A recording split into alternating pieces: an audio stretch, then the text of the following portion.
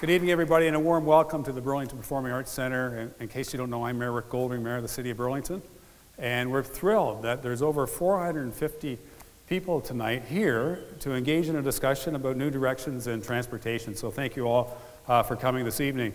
Uh, before I go any further, I would like to introduce one of my colleagues that's here. There may be some others, but I know Councillor Marianne Meed Ward is here.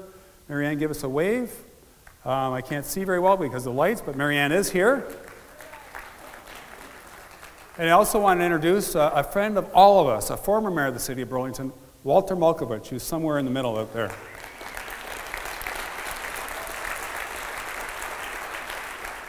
But again, thank you all very much for coming. So tonight's presentation is uh, part of the Mayors Inspire Burlington series, and it's done in partnership with the City of Burlington, uh, with, the, with the Departments of Transit, uh, Transportation, and Planning. And uh, many of you know Earlier this year, Burlington City Council approved a 25-year strategic plan, which is really a blueprint of great city building uh, for the next 25 years. It takes us to 2040, and that was after a year of engagement uh, with the community and, and many stakeholders. This year so far, and I should remind you, the four directions of the strategic plan are a city that grows, a city that moves, a healthier and greener city, and an engaging city. And so far this year, we've had a great focus on growth. We are uh, going to be creating a brand new official plan. Uh, we have set resources aside to do some serious analysis around our four mobility hubs, which is the three GO stations, as well as downtown, as what the future development in those areas will look like. Um, but tonight, our discussion will focus on the second direction, which is a city that moves, and that's all about transportation. In order to do that, though, we need to sort of set some context of where we are. We're not an island unto ourselves.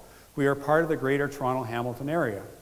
And the Greater Toronto Hamilton area, which includes obviously Hamilton and, and Toronto, includes the regions of Halton, Peel, York, and Durham. And the population in our region right now is 7 million people, and that is growing to 10 million people by 2041. So that represents a growth of 120,000 people per year on average, two thirds the size of the city of Burlington that the Greater Toronto Hamilton area will grow by. Within Halton Region, Halton Region's about 530,000 people. And by 2041, we're expected to be, as a region, of course, which includes Burlington, Oakville, Milton, and Halton Hills, we're expected to grow from 530,000 people to a million people. And uh, so the, the, the question is how all this urban growth happens on the ground is absolutely critical for the sustainability and future livability of Canada's most populous region, I mean the Greater Toronto Hamilton region. We do not want more congestion. We do not want longer commutes, and we don't, do not want more sprawl. So, can we build neighborhoods that are transit connected and rich with amenities that support healthy lifestyles? So, I strongly believe that with careful planning, new investments in transit infrastructure can attract more business and employment to the suburbs and municipalities outside of the City of Toronto, cities like Burlington, and create complete communities where people want to live, work, shop, and play. Right now, there's a historic level of investing going on by the province of Ontario in our transportation infrastructure. Ontario is investing $32 billion in transit infrastructure in the Greater Toronto Hamilton area over the next 10 to 15 years. And the big move is well underway. There's more than 200 projects well underway representing $16 billion, including, including regional express rail along the Lakeshore Go West line, which will end up with 15 minute all day service within nine years on the Lakeshore Go West line. Many of you knew I grew up in the city of Burlington. Very fortunate, I lived in, in Roseland as a kid, two blocks south of, of New Street, um, right around the Roseland Plaza. And when I was a kid, the Burlington Mall wasn't around, let alone Maple View Mall uh, was not around. But I look back at, at, my, my childhood and the fact my mom was a stay at home mom. And we only had one car. My dad used that to go to Hamilton to work. So all day long, um, when my dad was gone, we walked everywhere. We walked to the doctor's office. We walked to school, which was only two blocks away. We walked to the grocery store. There were two grocery stores at the intersection of Guelph Line and New Street back then. I really sound old when I talk about this stuff. There was a Canadian Tire store. There's a bowling alley. There still is. I guess the point is, though, here you had a one-car family that got by just living in a walkable community. So the challenge is how do we create more walkable communities just like that that have all those amenities within the city of Burlington And I firmly believe we have great opportunity to do that. So tonight's focus is how we move in and around the city. You know, everyone in the city needs to get somewhere, whether it be to work or to school or for personal errands or for shopping. But our city, like so many other North American cities, was built when oil was cheap and land was cheap. And neither is true anymore. So as a result, we rely on the automobile as our prime mode of transportation without even thinking about it. Well over 90% of the trips that take place within the city of Burlington are by the automobile. The average weekday, we see 260,000 trips a day that have an origin and destination within the city of Burlington. That is not trips coming in or out of Burlington, that is just trips within the city of Burlington, 260,000 trips a day, and half of them, 130,000, are five kilometers or less. So we know the car will be a prime source of transportation for many decades to come. But is there a way that we can get more people to move from point A to point B in alternative fashion? So we heard during the development of our strategic plan that in addition to being able to move around in a car, people want choices to move around by transit, by cycling, and, and walking for those short distance trips. And heading in that direction will clearly make us a healthier and greener city as well. So the big question is how do we achieve that? I mean, it's easy to have all these big picture ideas, but how do we execute that? How do we implement strategies and make that happen? So, to assist us in answering the question, the city has brought in two inspiring, thoughtful, and intelligent and dynamic uh, people to assist us in guiding us and pointing us in the right direction regarding the development of a new transportation plan that aligns with our strategic plan and our official plan. That's a lot of plans in one sentence. Uh, Jarrett Walker and Brent Toderian have made contributions to cities around North America and around the world by helping cities be more sustainable, more prosperous, and more vibrant. So I've heard from many people in our city uh, that we're not Amsterdam, we're not Vancouver, we are Burlington. Absolutely right. We need to have our own solutions, but we can draw on solutions in other communities in Canada, in North America, and around the world. So I encourage everyone to take in tonight's presentations with an open mind. Uh, these ideas are just a starting point for further discussion and eventual implementation in our city. So I want to outline the evening, how it's going to take place. So we promise to have you out of here by 9.30. Um, very shortly, um, Brent will speak, Brent Toderian, and then we'll have Jarrett Walker, and in between we will have a presentation, a, a video from the students of the grade 9 geography program at Hayden High School. And then at the end of the, the, presentations, there'll be six of us up here, the three directors of transportation, uh, transit, and planning, along with myself and our two guest speakers to answer any questions you may have. And then we'll be out of here ideally no later than, than 9.30. So I want to close my comments right now by introducing a very short video created by the City of Burlington about the concepts we are developing for our official plan and our transportation plan to ensure that Burlington continues to be one of the most desirable places to live, work, and play in all of Canada. So enjoy the video. Burlington is ranked as one of the top cities in Canada to call home. And that's how we like it. Making sure that Burlington continues to be a thriving city means planning for Burlington's future now.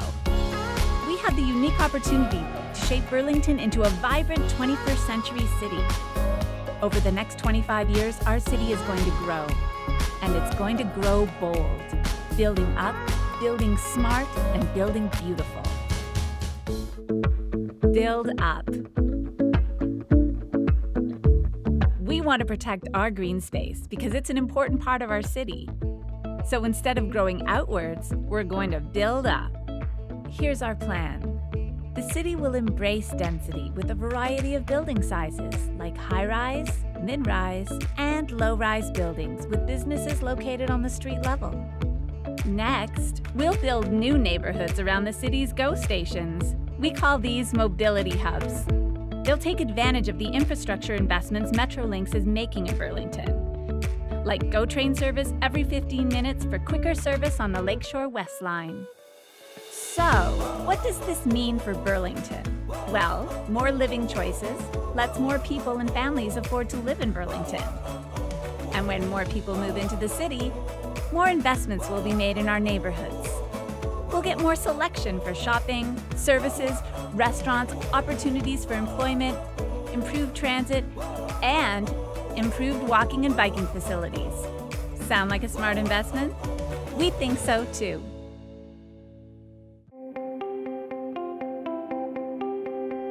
Build smart. When we're building smart, we're targeting our growth to the right areas of the city, while also making good use of existing infrastructure. Still following? Well, this is what building smart means for you. More streets to take a walk, a variety of choices for getting around the city, like public transit, cycling, and walking, so you don't have to rely on your car. More frequent transit service between popular destinations, protected older established neighborhoods, protected rural, agricultural, and natural greenbelt spaces, and green infrastructure to help combat climate change.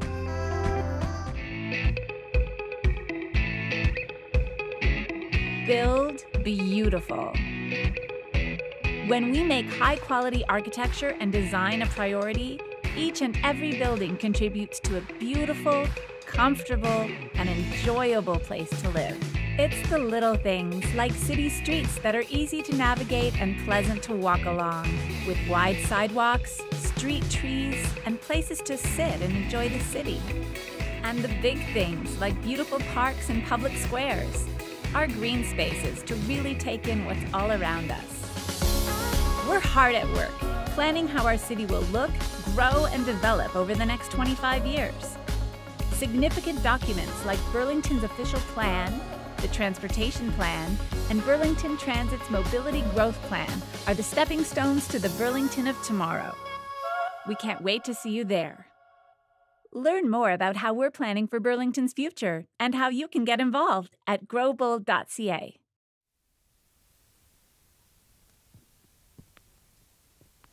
Now it gives me great pleasure to introduce our Director of Planning for the City of Burlington, who's only been with us for the last 12 months, who's made a tremendous impact on our city so far. To introduce our first speaker, Mary Lou Tanner.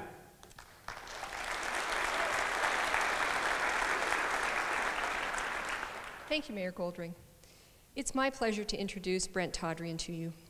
For some of you who've been with us at the Mayor's Inspire Burlington series this year, Brent doesn't need an introduction. But for those of you who are here for the first time, it's my distinct pleasure and honor to share an introduction of Brent, who is a friend and a colleague. If you look at Brent's biography, you'll know that he was the chief planner for the City of Vancouver, as well as the manager of the City Centre program for the City of Calgary. And he actually worked here in Ontario and went to high school in Hamilton and started his consulting career locally. He is also the president of the Canadian Council of Urbanism, which is the premier think tank in Canada for Canada's cities. But to know that biography is only a small part of who Brent is. He is absolutely an unabashed advocate for Canadian cities. Urbanism, placemaking, great design, great streets, great communities is what he focuses on in working with his clients across the globe as president of Toderian Urban Works. This is his third visit to Burlington, where he has been working with many of us as we look at Burlington's next 25 years and how we are going to grow bold. He is an advisor, an advocate, a mentor for us, and he is my friend and colleague. Please welcome Brent Toderian.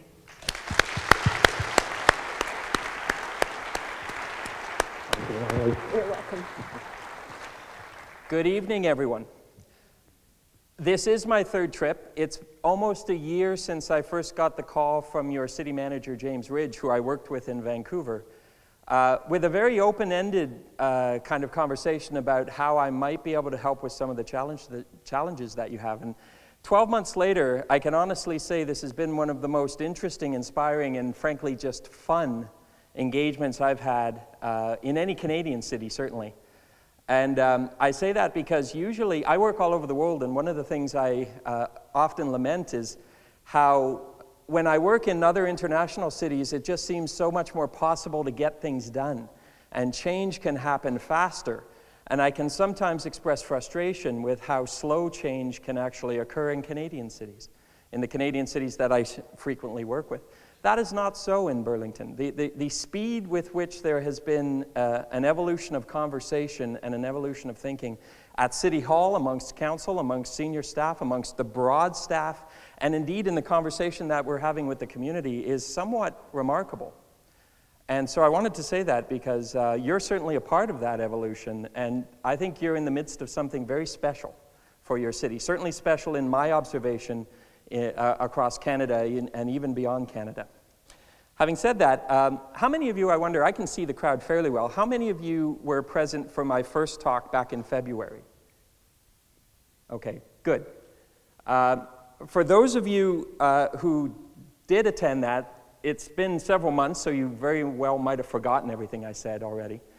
Um, I am going to have give some similar messages, but you'll recall then I was talking broadly about city making in the broadest possible sense, and I covered a lot of ground, frankly, more than I had time for, as I recall that night. And a lot of that has been translated through a lot of work since with your staff into some of the things you just saw in that video, which, as you can see, cover a lot of aspects, a lot of grounds of city making. But this, one of the key things that I've ended up doing is spending a lot of time helping with your staff on the transportation plan. And indeed, the purpose of tonight is about transportation and transit. So my talk tonight is going to be particularly about uh, mobility and transportation and accessibility as a critical dimension of smart and more successful city making. But you'll see that I also will touch on how it overlaps and strongly relates with, with the, the issue of how you build architecturally and from a land use perspective your city in a physical sense. I always start my talks, always, with a reminder of the kind of big picture context we are struggling with. And when we're talking about building a city smarter, it's not just for the quality of life of the people, and that is certainly true, but we are frankly facing big picture issues uh, that are significantly our suburbs. And whether that issue is climate change, rising sea levels, frequency and intensity of storm events, which are all directly tied to our greenhouse gas emissions, that are directly tied with how we build and get around our cities, or the issue of public health epidemics, preventable diseases, etc., that are specifically related to how we have designed exercise out of our city, and particularly out of how we get around with our city. And this was a, a, a, a, press conference that was called by the four top public health officials around this part of Ontario, and they got a tremendous amount of press, I recall, where they were talking about the need as a preventative medicine issue for more walkable, bikeable, and transit friendly cities. And that it was probably the most important thing you could do to prevent preventable diseases, more so than treating things in hospitals, for example. And they got a ton of press. And I remember commenting at the time that if folks like Mary Lou, if the four chief planners of these regions had held a press conference, they probably wouldn't have got much of attention. But, but when the public health officials did, it got a lot of attention. And indeed, this opening of our eyes and connecting of the dots of how we build and get around as it relates to our own public health, both from a public cost perspective and from an individual health perspective, is powerful. And it has transformed the discourse on how we're building our cities and suburbs. So much so that my clients in Australia, both Jarrett and I have worked in Australia. One of my clients in Australia uh, actually hired me to work with four different Australian cities, and that client was the Heart Foundation of Australia. Not the state level government, not the municipal government. It was the Heart Foundation that hired me to go in and work with local and state planning departments to talk about some of the things that we're talking about tonight. And that's, that's remarkable. They've actually put out this document called Does Density Matter? And you can find it online and download it, and you should. It's a very good document, but I'll give away the ending yes, density matters. It matters to walkability, it matters to, to cycling, it matters to transit, it matters to a lot of things. And if you're not motivated by climate change or public health, there's just plain old fashioned money. Canada is on the forefront, I've realized, of doing better math on the costs of infrastructure, the full costs, the life cycle costs of infrastructure. Started with my city of Calgary when I was there when we did the cost of growth study well over 10 or 15 years ago. And it's been spreading like wildfire. And this kind of analysis and the results plastered on the front pages is changing the, the political discourse around how we build cities, and particularly transportation systems, because it is billions of dollars difference over the life of, say, a plan like, like Grow Bold, like the new OP, between growing out or growing in certain directions out and growing up in different patterns and smarter infill ways. Billions of dollars. And I, I like this subject matter maybe the most because what I find is it breaks down political disagreements. Whether you are so called right or so called left in your politics, you can't ignore these kinds of numbers. And this is Halifax, by, way, by the way, which is a relatively small municipality. Bigger municipalities, the figure are in the range of 10 billion, 11 billion, 15 billion dollars difference in how we grow for the full cost of a municipality paid for by all of you, the taxpayer. So it's powerful. It's not, what it shows is what we're talking about tonight is not the difference between right or left politics, it's smart or dumb city making. It's smart or dumb region making. And we know enough to know the difference between smart and dumb at this point. So when it comes to how we're building for people to move around as we grow, and let's be clear, your council and many councils has made the deliberate decision already that you are going to grow. And they've made the decision already through the strat plan, etc., that you're going to grow up and not out. And part of that decision was made for you by the province with places to grow. But there's a lot of coming together of reasons that say we will grow and we will grow up. The question is, how do we do that successfully and actually improve our quality of life as we grow up instead of diminishing our quality of life as we grow, which some cities do as they grow? It starts with the realization that if you try to do it in a way that just builds more roads, more lanes of traffic, wider roads, longer roads, etc., you will fail. There hasn't been a city in North America that has actually succeeded in addressing challenges of congestion and traffic as you grow through building more roads. And that's now permeated the mainstream media who even knows. Uh, Fast Company, Wired Magazine, etc. What's up with that? Building bigger roads actually makes transit wor- uh, traffic worse. We know that when you build more roads, they fill up. We know it since 1955, at least. We probably knew it before that. But way back when, Lewis Mumford, one of the great urban thinkers ever, said this adding car lanes to deal with traffic congestion is like loosening your belt to cure obesity. The concept is called the law of congestion or induced traffic or induced demand. The idea is that when you build more roads, it induces people to drive more. And it's proven. Study after study, meta study after meta study has shown this to occur. So, in other words, if you want to grow and particularly grow up in a way that actually doesn't make traffic unworkable, there's only one option, which is not the car option, it's multimodal. And by the way, I like to point this out. You know, this idea has permeated the zeitgeist when it's even in a comic book. A friend of mine showed this to me, and I, I took a picture of it. This is a Flash comic book. You know, The Flash, the fastest man alive?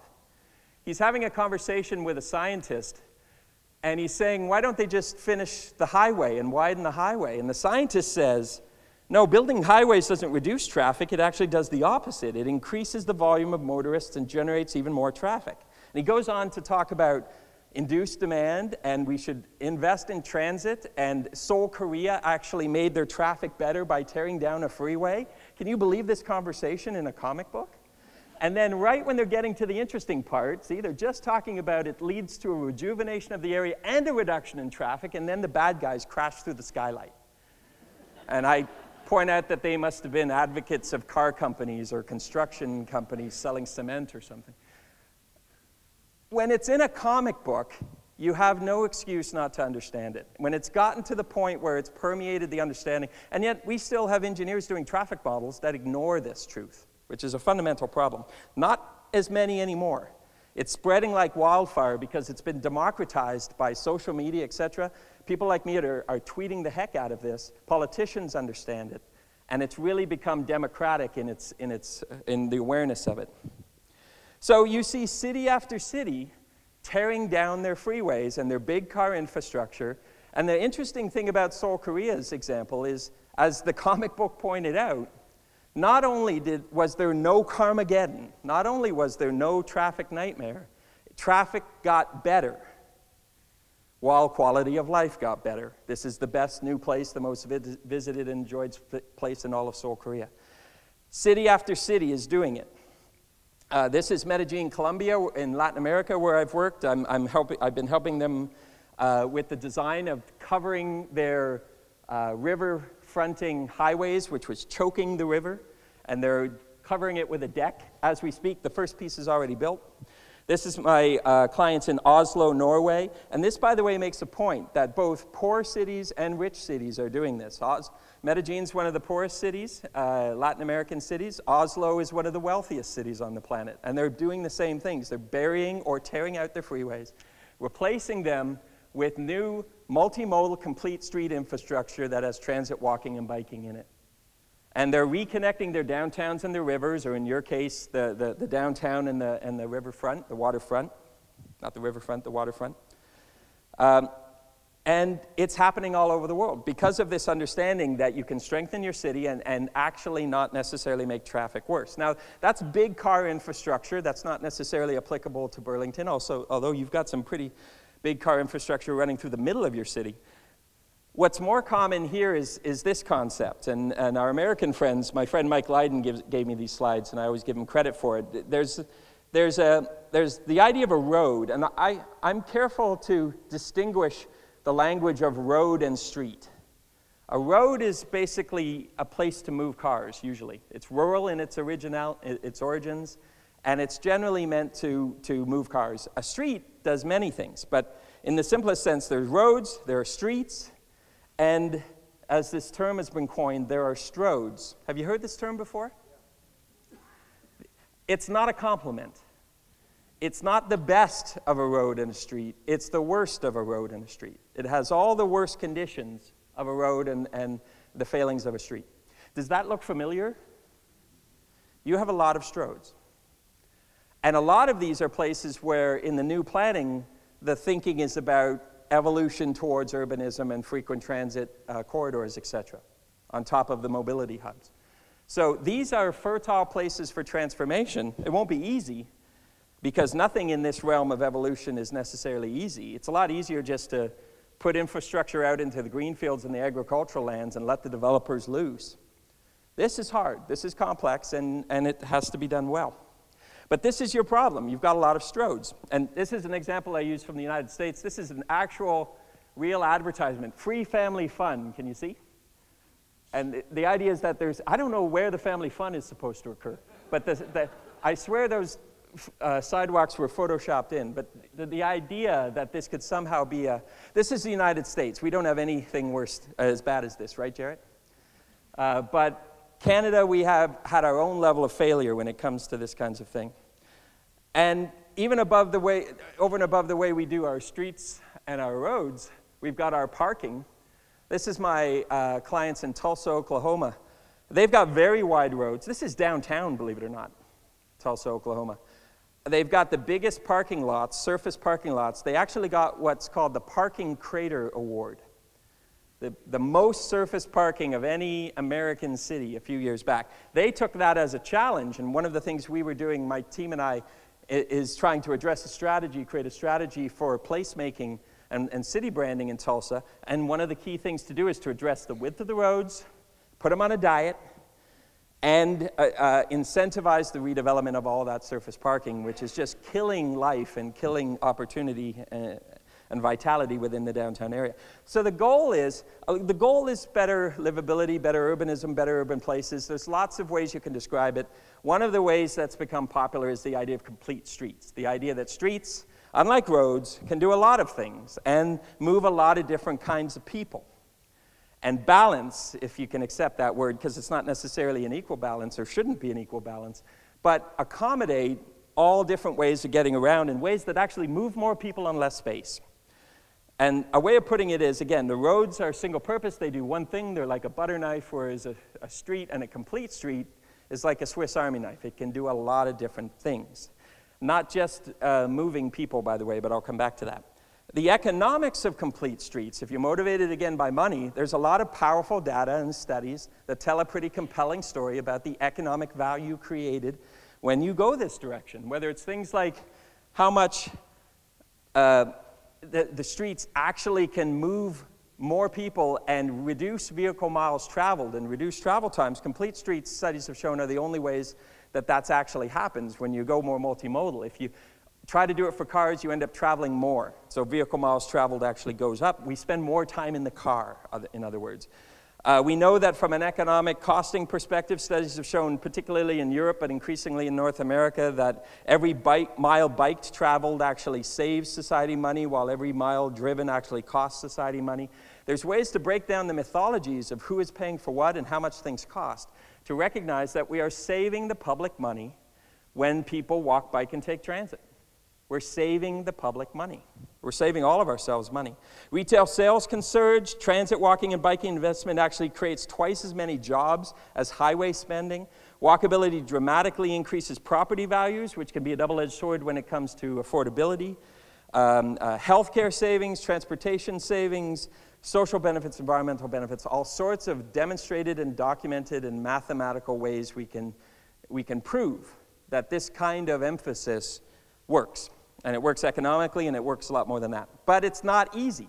I think I told you last time I was here that even in places like Vancouver, this kind of culture of smarter city making was hard fought for and didn't come easy. Even after we said no to the freeways, we're the only city in North America without freeways in the, in the central city, even after that, there were still the battles between the engineers and the planners over who would rule uh, the issue of mobility and transportation. In Vancouver, we called it the years of the warlords, where land use and transportation didn't talk at the best of times and at, at the worst of times were in sort of passive aggressive war with each other in City Hall. And it was the transportation plan, the 1997 transportation plan, that was the catalyst for the breaking down of silos and bringing together of certainly those two departments, but in fact a lot more departments, into a common definition of success. And the phrase we started to use at that time was plangineers, the idea that planners and engineers had a common definition of success, which was to build a great city. And that plan was the catalyst point. And we've been talking a lot about how these plans we're working on here in Burlington now are the catalyst for that. And I can tell you already, in the year that we've been working on this, the transformation at City Hall in terms of the interrelationships between planning, transportation, and transit has been remarkable. As your city manager, James Ridge, put it to council today, you, have been smashing down silos. And now, and I've observed it in the way that staff interacts with, with me and how I see them interact with each other. It's been remarkable and it's critically important. So, better city making takes breaking down silos. That's one of the things that's happening right now at City Hall. So, we talk about the, plan, the official plan, we talk about the transportation plan, but you cannot underestimate the amount of energy that's going into culture change at City Hall, including the smashing down of silos and the bringing together of departments with common definitions of success. Incredibly important and very powerful. One of the things we've said in Vancouver for generations relative to this land use transportation relationship is that the best transportation plan is a great land use plan. Jarrett talks about this too. It's one of the critical components of making transit uh, and multimodal transportation possible. If you get your land use wrong, it's really hard to make active transportation and transit work. If you get your land use right, you've got a tailwind, and a lot of things are possible. So that's why so much energy is going into your official plan that is transportation related, and vice versa. The conversation is one conversation. In Vancouver, when we went from that 1997 plan to the 2040 plan, which I co steered with my colleague, the Director of Transportation, while I was there, the next step was to go beyond streets as multimodal places to also streets as places, not just to move people, but places to be in. One of the things the old plan had already done was prioritize modes. So instead of using language like balance, we said we prioritize walking first, then biking, then public transit, then goods movement, and then the car. And the key message here this is, by the way, my, my friend uh, Mikael Colville-Andersen has done this uh, and expanded on it. I like to keep it simple. That's really simple. I even use simple images. Uh, but the point is that there's a hierarchy, there's a prioritization, not balance. This is the way we, this is the Latin American version my, that my clients and I worked on in Medellin. Here's the point this is not an anti car message. I really want you to understand this. If you design a city for cars, it fails for everyone, including drivers. If you plan only for cars, it's very hard to drive because everybody's fighting for the same finite amount of space in big cars. And by the way, it doesn't matter if that's a driverless car or an electric car. It's still a big car fighting for space. You might improve some of the efficiencies a bit, but that's going to take a long time and only a bit. If you design a multimodal city, it works better for everyone, including drivers. So, this feeling in this narrative that some of you may be having when a bike lane is proposed or public transit is proposed, if those things are not proposed, as you grow, driving is going to get harder and harder. It is just a fact. It's a fact, as Jarrett says, of geometry. I say it's the laws of physics, but he's smarter than I am.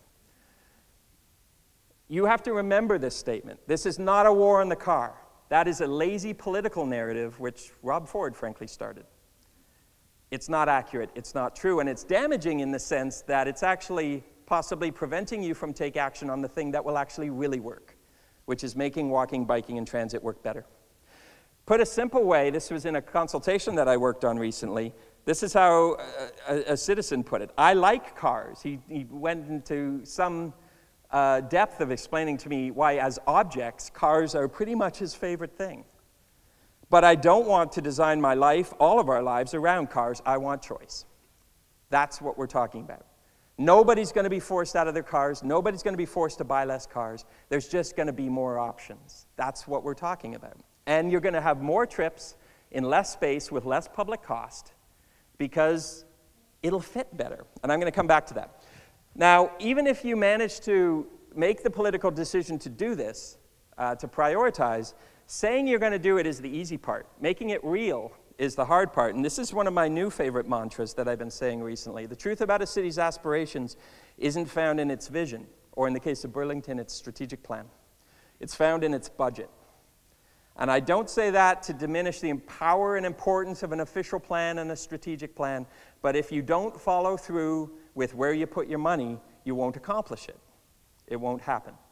And more and more, I'm pushing uh, the follow through part because even a city like Burlington, for example, one of the things I've learned working with you is you've had pretty good vision on transit, for example, for a long time. Your director of transit is starting to tell the story of how and going back and looking at the past documents, and you could read the past vision statements, and it sounds pretty good. The problem is you didn't do it. So, follow through is your problem. And you're not alone, you're not unique. That's the most common problem I observe in Canadian cities. So, I'm going to come back to that more than once, but that's important. Now, what we did in the new transportation plan in Vancouver is start to think about streets not just as mobility places, even progressive mobility places like walking, biking, and transit. Because city, streets are also places to be in, to linger and love in. And I use the term sticky streets to describe this. The idea, and I don't mean gum on the street, I don't mean uh, something you wouldn't want to step on. I mean that it's such an interesting street, it gets you to slow down and stop, and maybe you want to sit on those seats. You, you, you the metric isn't how many people you can move as quickly as possible, like it's water through a pipe. The metric is maybe how long people stay and enjoy. It's a different perception, it's a different measurement, a different way of thinking about streets. Sticky streets is the way I call it. Um, when I was working on that transportation plan with my colleagues in transportation, one of the ways I put it was good cities know that streets are for people, not just cars. That's sort of stage one of the evolutionary thought. But great cities know that streets are places to linger and love, not just to move through. So it's a next level of evolution of thinking in terms of how you perceive streets. All sorts of ways people are taking back streets as places and places to invest community energy in, whether it's this kind of an exercise, whether it's closing down streets as we did in Vancouver originally for the Olympics and then we kept closing them as people places to just enjoy the street as the living rooms of the city, as the primary public space for the city, all sorts of different things. The parklet movement, the idea of taking some parking spaces and transforming them into people spaces, is sort of spread like wildfire across the world. And it's just another example of rethinking that space from cars to people. Food trucks is another opportunity. Jarrett's from Portland, wrapping uh, the edges of surface parking lots with food carts putting food trucks into parking spaces. It's a good trade. It's a good trade because you're trading one parking space, two parking space for a lot of public life. It's a good trade. This is, um, I, I, just got back from doing some work with Göteborg. Uh, you would pronounce it Gothenburg, Sweden, the second largest city in, in Gothenburg. And this is one of my favorite examples I saw there. This is a surface parking lot, and the edge was recreated as a night spot, pretty cool night spot, that was just containers stacked. Temporary urbanism, container urbanism, pop up urbanism, it's also called. It's just inserting, like urban acupuncture, life into dead spaces. And a lot of those dead spaces are currently spaces that have been dedicated to the car, whether they're really needed or not. My friend Fred Kent in New York says if you plan cities for cars and traffic, you get cars and traffic. If you plan for people and places, you get people and places. We've been planning for cars and traffic for a long time. And again, I'll remind you that. So this is the, that prioritization. The first is walking. So when you do density well, and my talk to you back in February was largely around this concept of density done well. When you do it well, everything is close by, or at least a lot of things are. Proximity, what I call the power of nearness. You don't even need to debate whether you want to take a car to go far or transit to go far because everything is near. So a lot of things, that's, that's why we say walking first. Because if you actually have that kind of proximity and nearness, you don't even have to spend money on public transit. So that's your first preference. And as, as both Jarrett and I say, say, you always have to remember every transit trip starts and ends with your feet anyway. So walking is first, uh, but uh, certainly strongly related to transit. When you're thinking about walking, you can't just think about the horizontal, you have to think about the vertical. A lot of the conversation I'm having with your staff is about the architecture of the city, and particularly the architecture of buildings at eye level, how buildings land. Less emphasis, as I said to you back in February, on how many stories, how many floors the building has, which seems to be often the only thing you concentrate on, and more energy on how it lands and creates a human scaled, vibrant city at eye level at the walking pace of a pedestrian, which is about five kilometers. So, in Vancouver's case, if it's a retail street, that's retail, which is great. Visual transparency, windows, stuff to look through at. But if it's housing, and we, we line streets with housing and have units at grade, homes at grade, then it's, it's homes. And it's the idea of a, just a step up, a semi private space. Never do it flat, by the way. You always have to do it a bit step up because you don't want people to be seeing into windows or else they just close their blinds. There's a way you humanize the street by constantly creating an active edge at street level. I, I often say the most important policy idea we have in Vancouver is no blank walls. That's the most important for architecture, the most important for walkability. You've got some blank walls in Burlington.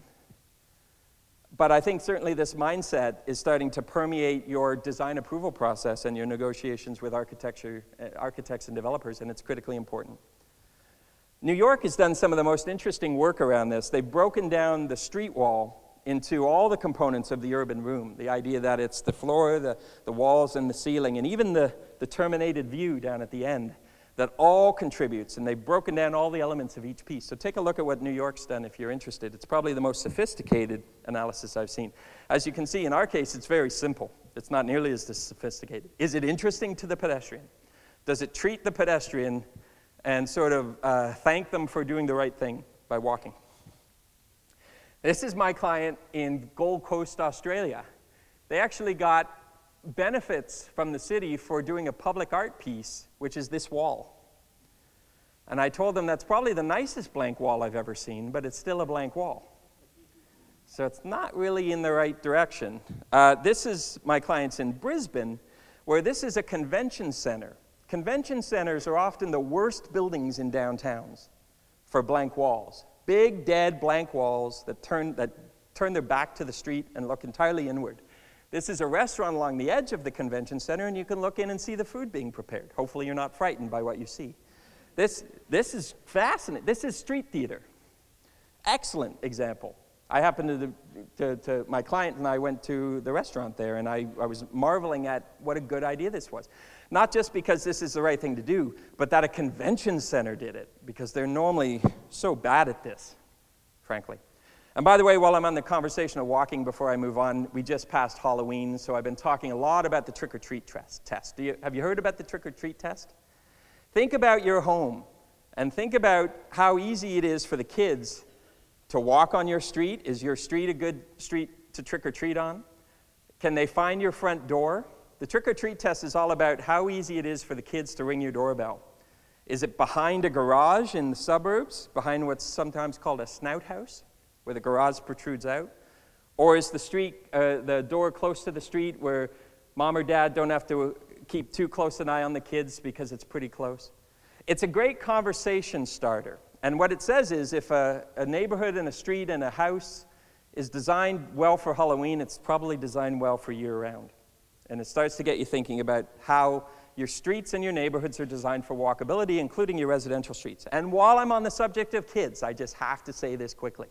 One of the key conversations as communities we all need to talk about is how much of the traffic in the mornings and the evenings are taken up by all of you driving your kids to school and ironically making it an unsafe situation for kids to walk and bike to school, ironically because all of you are driving your kids to school. So have you seen this cartoon before? It's one of my favorites.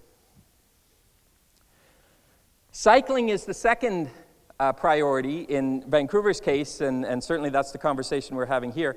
The, emphasis, the, the creation of a greater cycling circumstance and infrastructure.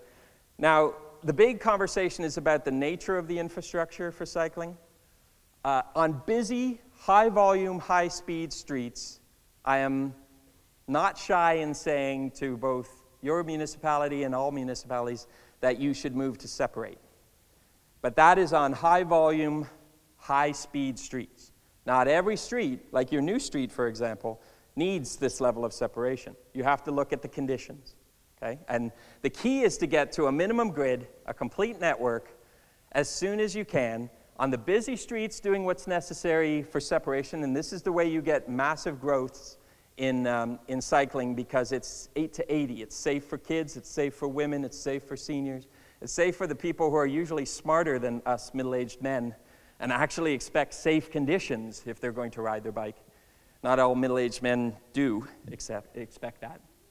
Uh, but women are smarter, and kids are smarter, even, and seniors are certainly smarter. So they expect safe conditions. Um, in your new street pilot, for example, you're not going to see new riders because it's a relatively short stretch and it doesn't connect much with much. So you shouldn't measure success based on whether you actually see a cyclist in that bike lane. You won't see cyclists in that bike lane until you have a system that connects a lot of things with a lot of things, a minimum grid, a network. What that pilot will show and will test is that you can add a bike lane without Carmageddon. That the actual impact on the operation of that street is minimal, if anything at all. And by the way, it'll also show that it's safer. I guarantee it. There will be fewer accidents, and life safety will actually be improved. That's what's been seen over and over again. And you'll see it in your pilot too. So don't focus on whether you see a cyclist in the bike lane. What it's proving is that you can put a bike lane like that in, and Carmageddon will not occur, the world will not end, and things will actually get safer. Mark my words. In Vancouver, we've been building off-street cycling for decades. Lots of cities has. This is the easy part. Cities like to invest in off-street cycling because it doesn't conflict with cars so it's easier politically. We have some of the nicest on our seawall in Vancouver, but it's been the key, the key to real mode shift and increased cycling is the on-street scenario, where you have to do the hard political thing and get into this issue of trade-offs on complete streets with drivers who have a perception that they own the space. So how do you shift that perception to say that streets do many things, including a lot of different people, not just move cars? as you're evolving towards a more cycling friendly city, it starts to perceive that cycling is not just about mobility, it's a lot of things. It's people, it's culture, it's texture, it's placemaking. Other cities in the world have embraced this idea and recognize it's powerful from everything from attracting millennials for jobs and economic development to improving quality of life and all the other things I've talked about. It supports all sorts of aspects of placemaking. And as an example, in Vancouver, when we built the first separated bike lane in our downtown, all hell broke loose. If you think you're the only place that has controversy on bike lanes, trust me, you're not. All hell broke loose. This was Carmageddon. This was Gregor's Gridlock. Our mayor's named Gregor. This was, that's what all the things that were said. Now, and by the way, initially, because it was the first bike lane, there weren't that many cyclists. Now there's a complete network. No Carmageddon ever happened, and this is the kind of thing you see on a relatively routine basis. But only until once you've completed the network and the grid. So, enough with bikes versus cars. It's not about one object versus another object, a bike or a car. It's about better cities, working better for everyone, for more people. Public transit is the next priority. I won't talk about that because that's Jarrett. Uh, but certainly, in the land use context about transit, the key to our conversations around mobility hubs, et cetera, has been about how you create this system of dense urban transit oriented places, corridors and hubs, uh, that facilitate the opportunity for transit. And this is Vancouver outside the city in the region where we've been doing probably the most of any North American area and region around mixed use, high density, transit supportive nodes or districts or, or areas around transit stations. This is what's being discussed around your GO stations in your mobility hubs. These are some of the early generation areas that built up right next to SkyTrain. These are some of the new plans where former suburban shopping malls, you can see it up in the corner, the parking lot, or the, the, the mall, the 1960s mall, surrounded by the sea of parking, now being transformed into this kind of uh, urban high density setting. That's a particularly urban one. I thought it was too dense. It's actually been scaled back in terms of its density. Uh, not, a, not all density is always perfect. You, you have to design it well. Uh, but it's a, it's a, it's a much more significant um, uh, embracing of the opportunity that the public transit infrastructure provides. This is another one in, in Burnaby. That's the sea of parking next to the, uh, the, uh, the SkyTrain station. And the actual project for this kind of development is being done, and it doesn't even have to touch the existing mall. Everything you see that's new is being built within the parking area, which just goes to show how much waste we, we we create in just the parking around these suburban shopping malls. This is the real opportunity in your corridors and your stroads, and we're talking a lot about how to incentivize this kind of thing. Now, it, there's a challenge with doing it well. I don't know if some of you might take pleasure if I sort of pick on Mississauga for a minute. but Mississauga is a cautionary tale because it has density, it has land uses, checkbox, checkbox, check box, check box. But it fails in what I call the tests of scale, mix, and place. Its scale is still scale to the automobile. So if you ever try to walk around in there, you'll know what I mean. Everything is, seems very far away and not very friendly. So the scale is to the automobile. The mix is separated still. It's not inter, interconnected. It's not integrated. So the mix isn't there, even though the land uses are present. And there's no place. There's no there there. Although, to their credit, they're working hard to fix this, but it really makes the point that if you do it wrong in the first place, it's really hard to fix. So much better to do it actually right, and that's the conversation first, and that's the conversation we're having now. On top of nodes, there's the corridors. This is the Cambie corridor, one of the exercises I led in Vancouver. And it's the, along where the SkyTrain is, which is the uh, light rail system that connects the downtown to the airport in Vancouver.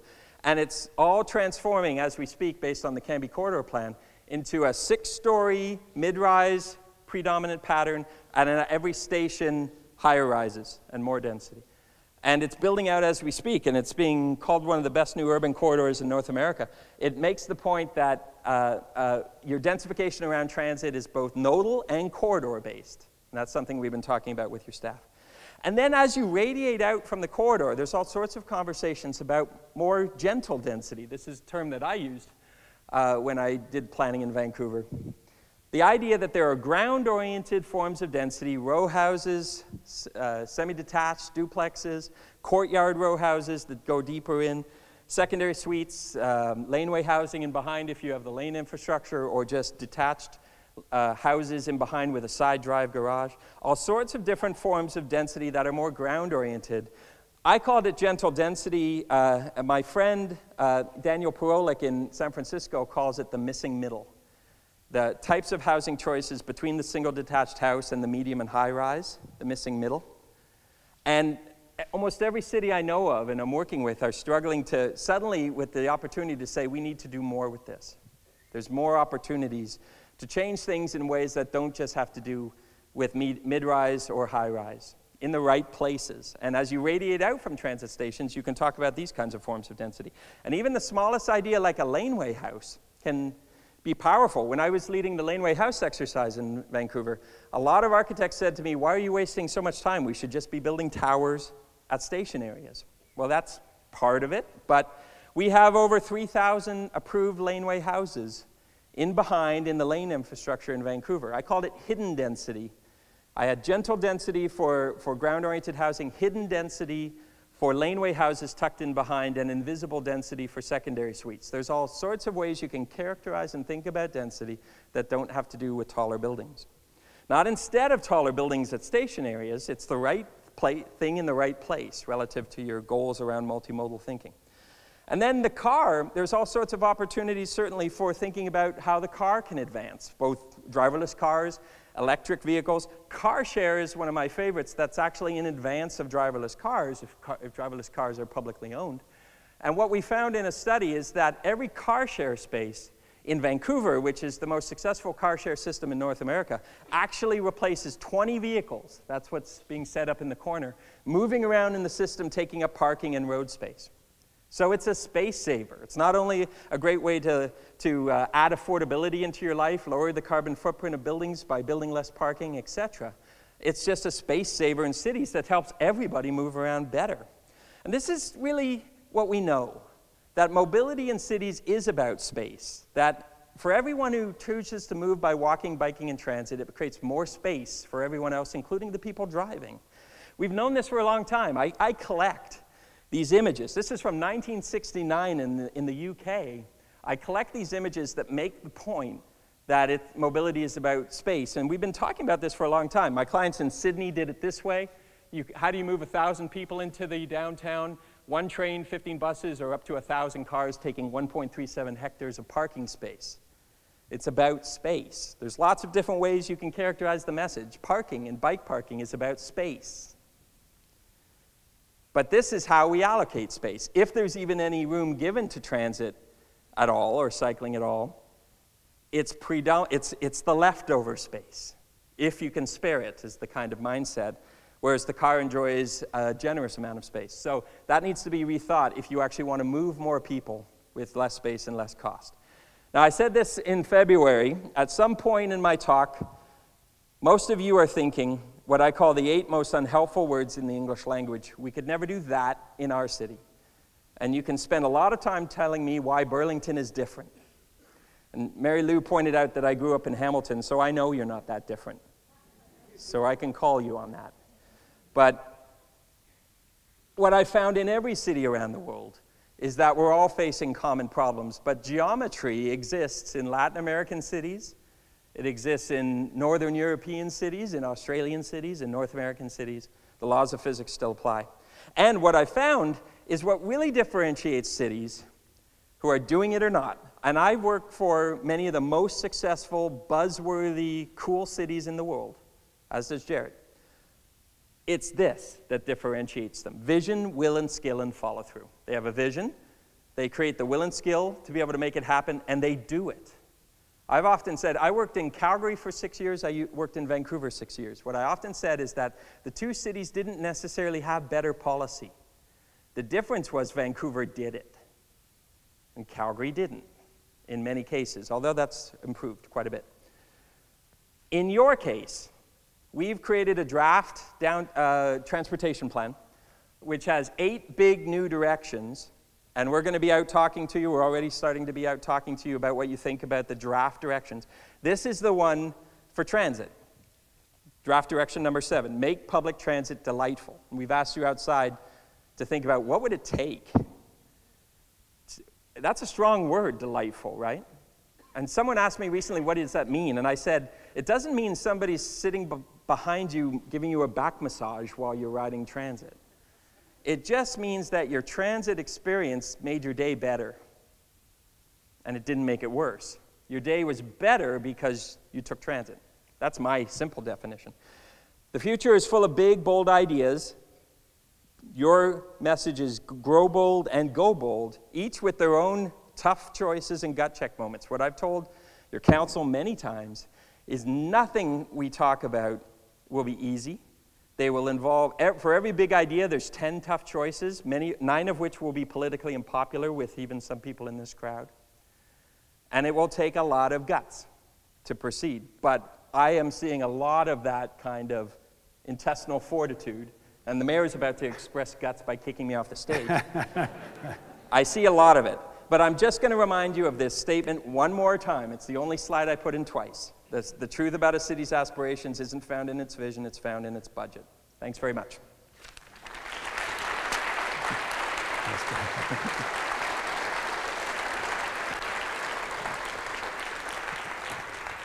Well, thank you very much, Brent. And, uh, you know, we're very fortunate in the city of Burlington. We have great schools, we have great teachers, we have great students, and we have representatives from Dr. Frank Hayden High School here with us tonight.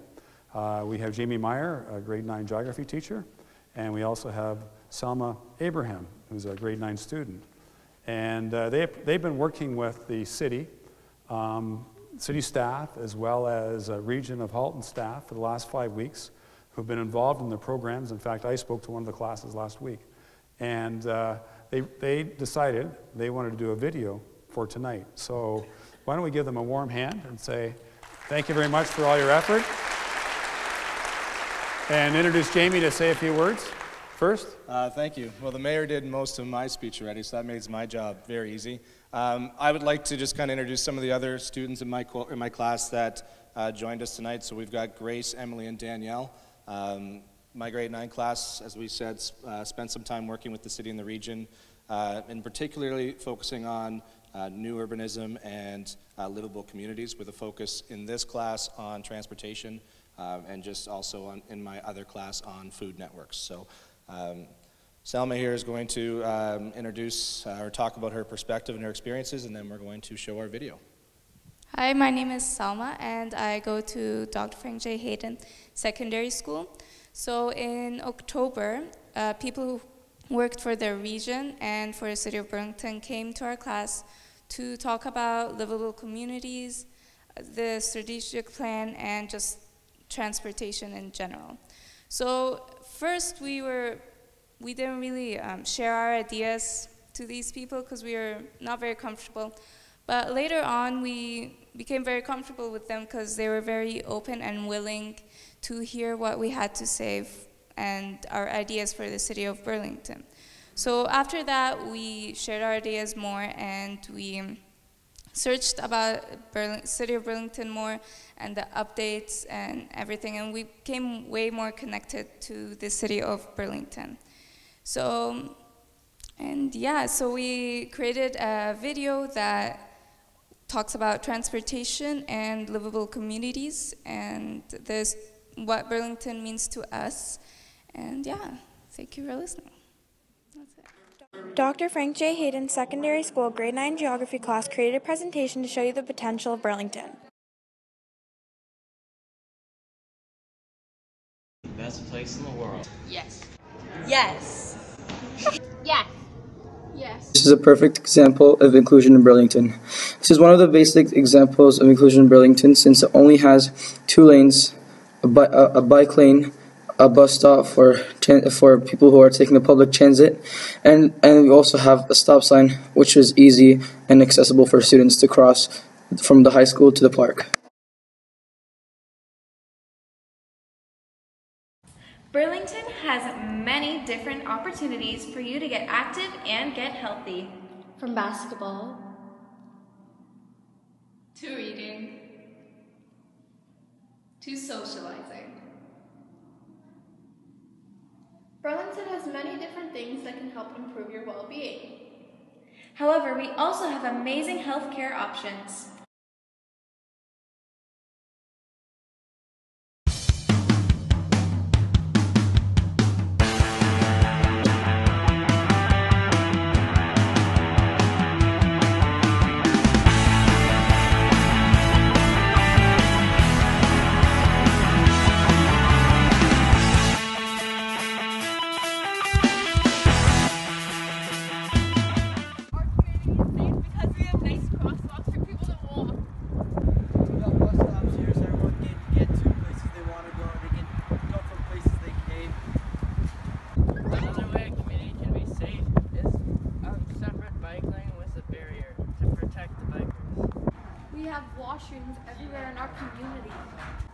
hard work in our community, so it's good looking. Also, communities are great when they have sports and equipment fields to play on. In our community, we have bike racks so nothing gets stolen. You can hook your bikes up. Transportation is very important because it is how we get to places, near or far. It also affects the environment and society that we live in. In our community, the majority of transportation is by car, which is a problem because that contributes to greenhouse emissions. In order to promote this change, we can make more bike lanes and public transit more accessible. By doing this, it will attract more people to walk slash bike. Also, by making public transit fares cheaper, it could attract even more people to use it. We can make public transit feel safer in order to promote it as well. When we visualize the future of Burlington, we see inclusion, community, health and well being, transportation, our future. This is our city, so let's grow strong and let's grow bold.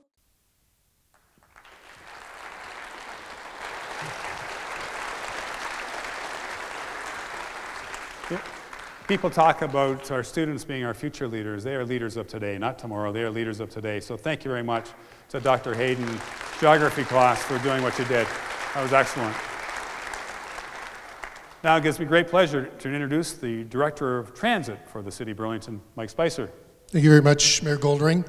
And, and I think I'd like to start off by thanking the Mayor for his leadership in presenting this tonight, because tonight is an exciting night. for the city, for public transit, but most of all for the community, because tonight shows great leadership and great pride in what will make our city better, and transit is a small piece of that. Earlier today, we had a great opportunity uh, with Jarrett Walker and Brent to spend some time with council, and we did a workshop in about two and a half hours. And we asked council at the beginning of that workshop to look at transit just with a different lens, a different view. We did talk, Brent talked earlier about the fact that, that we can go back in history and look at what we've done, what we've not done. But I think what's important now is your director of planning, your director of transportation, and your director of transit will now work as a team and work as one to make this community better. So I'm excited tonight. I'm very inspired by tonight. I was very inspired by this afternoon, but I think you're going to, you're going to enjoy our next speaker. He is the president of Jarrett Walker and Associates, and he is probably one of the well, most well-respected transit experts in the world. He has worked all over the world. So please put your hands together and welcome Mr. Jarrett Walker. Thank you, Mike. Thank you, Mayor. Thanks very much. Great to see you all. Um, I'm going to talk tonight about abundant access. And I guess I'll start by, um, I'll start where, where Brent left off. You've seen this image, the idea that, that public transit success is very much tied to the efficient use of space, and that many of the things that we think will somehow um, save us, like electric cars or driverless cars or so on, are solutions to problems other than the problem of space, and that there is still the problem of space, which requires that we, that at a certain density, we start getting into vehicles that we share with each other. Um, I also want to start with the observation that transit has this interesting quality of being a win-win. A feature, an important feature of cars is that the more people drive cars, the worse they work, whereas the more people use transit, the better it works.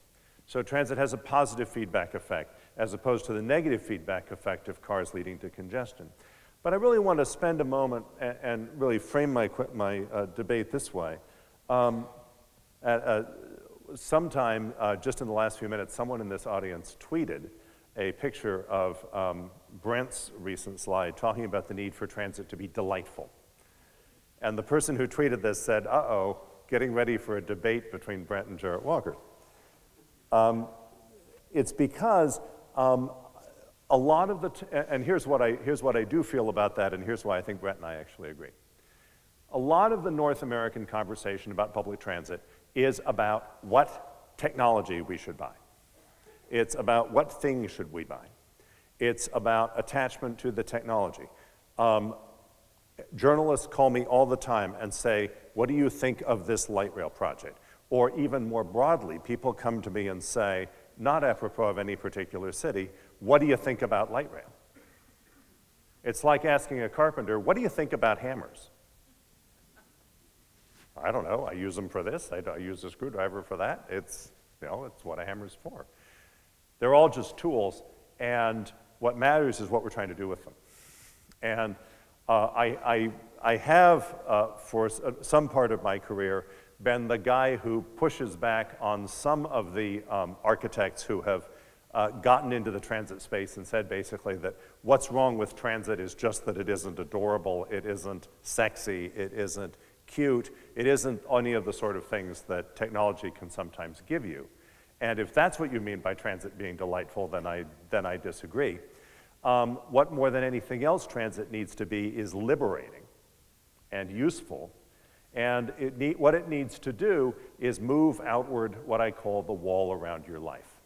So it's been very hard for me for a long time to talk about what is the thing that's important about transit that's even more important than whether it's a sexy vehicle. Because so many people go to that, and so many reporters go to that, the media goes to that. What is it that I'm talking about that might be more important than that?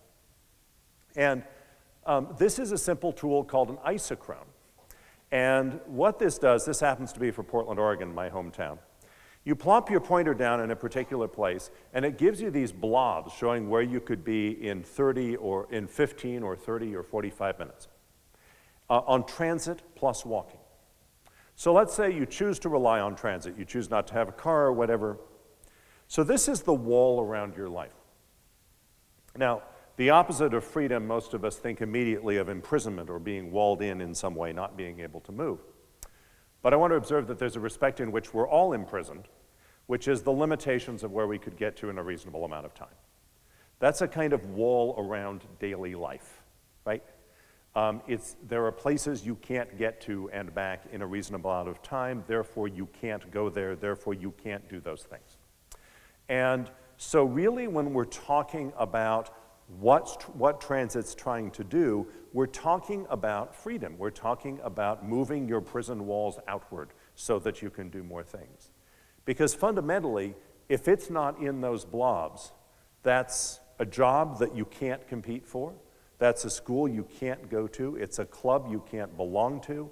It's people you're never going to meet. Maybe it means you're never going to meet the person you really should marry because they aren't in those blobs you'll never encounter them, right? So a whole lot of important stuff is bound up in our sheer ability to get places. Now, obviously, this was maybe truer a century ago before we had telephones and then the internet, but we've, we've already been through the era, right, of the internet is going to abolish geography and we'll all stay home on our couches and, and, and message each other. And for some reason, you all came out tonight with your bodies to actually do this old-fashioned thing of being in the same room with other people um, there's some reason you didn't all want to just do this as a webinar. So we're pretty past that, I think. I mean, it's great, telecommuting is great, but it's pretty clear, and the, and the greatest tech giants, Google and Facebook and so on, spend a fortune moving their employees' bodies around to get them in the same room because they know this too. Now, the interesting thing about this, one of the interesting things about this image is that you can take responsibility for the consequences of your own location choice. I just went through a process of locating new office space for my firm in Portland, and we were, I could have located in downtown uh, paying the highest possible costs, and that would have been where employees could get to me from. Or I could locate out in the inner city in still a pretty dense area, and that's where they could get to me from. Or I could locate in a leafy business park. And that's where they could get to me from. And I can choose the consequent, I can choose the access consequences of my own location choice. This is why every single realtor should have this tool, right? When you're shopping for a place to live, when you're shopping for a place to set up your business, your realtor should be able to show you this.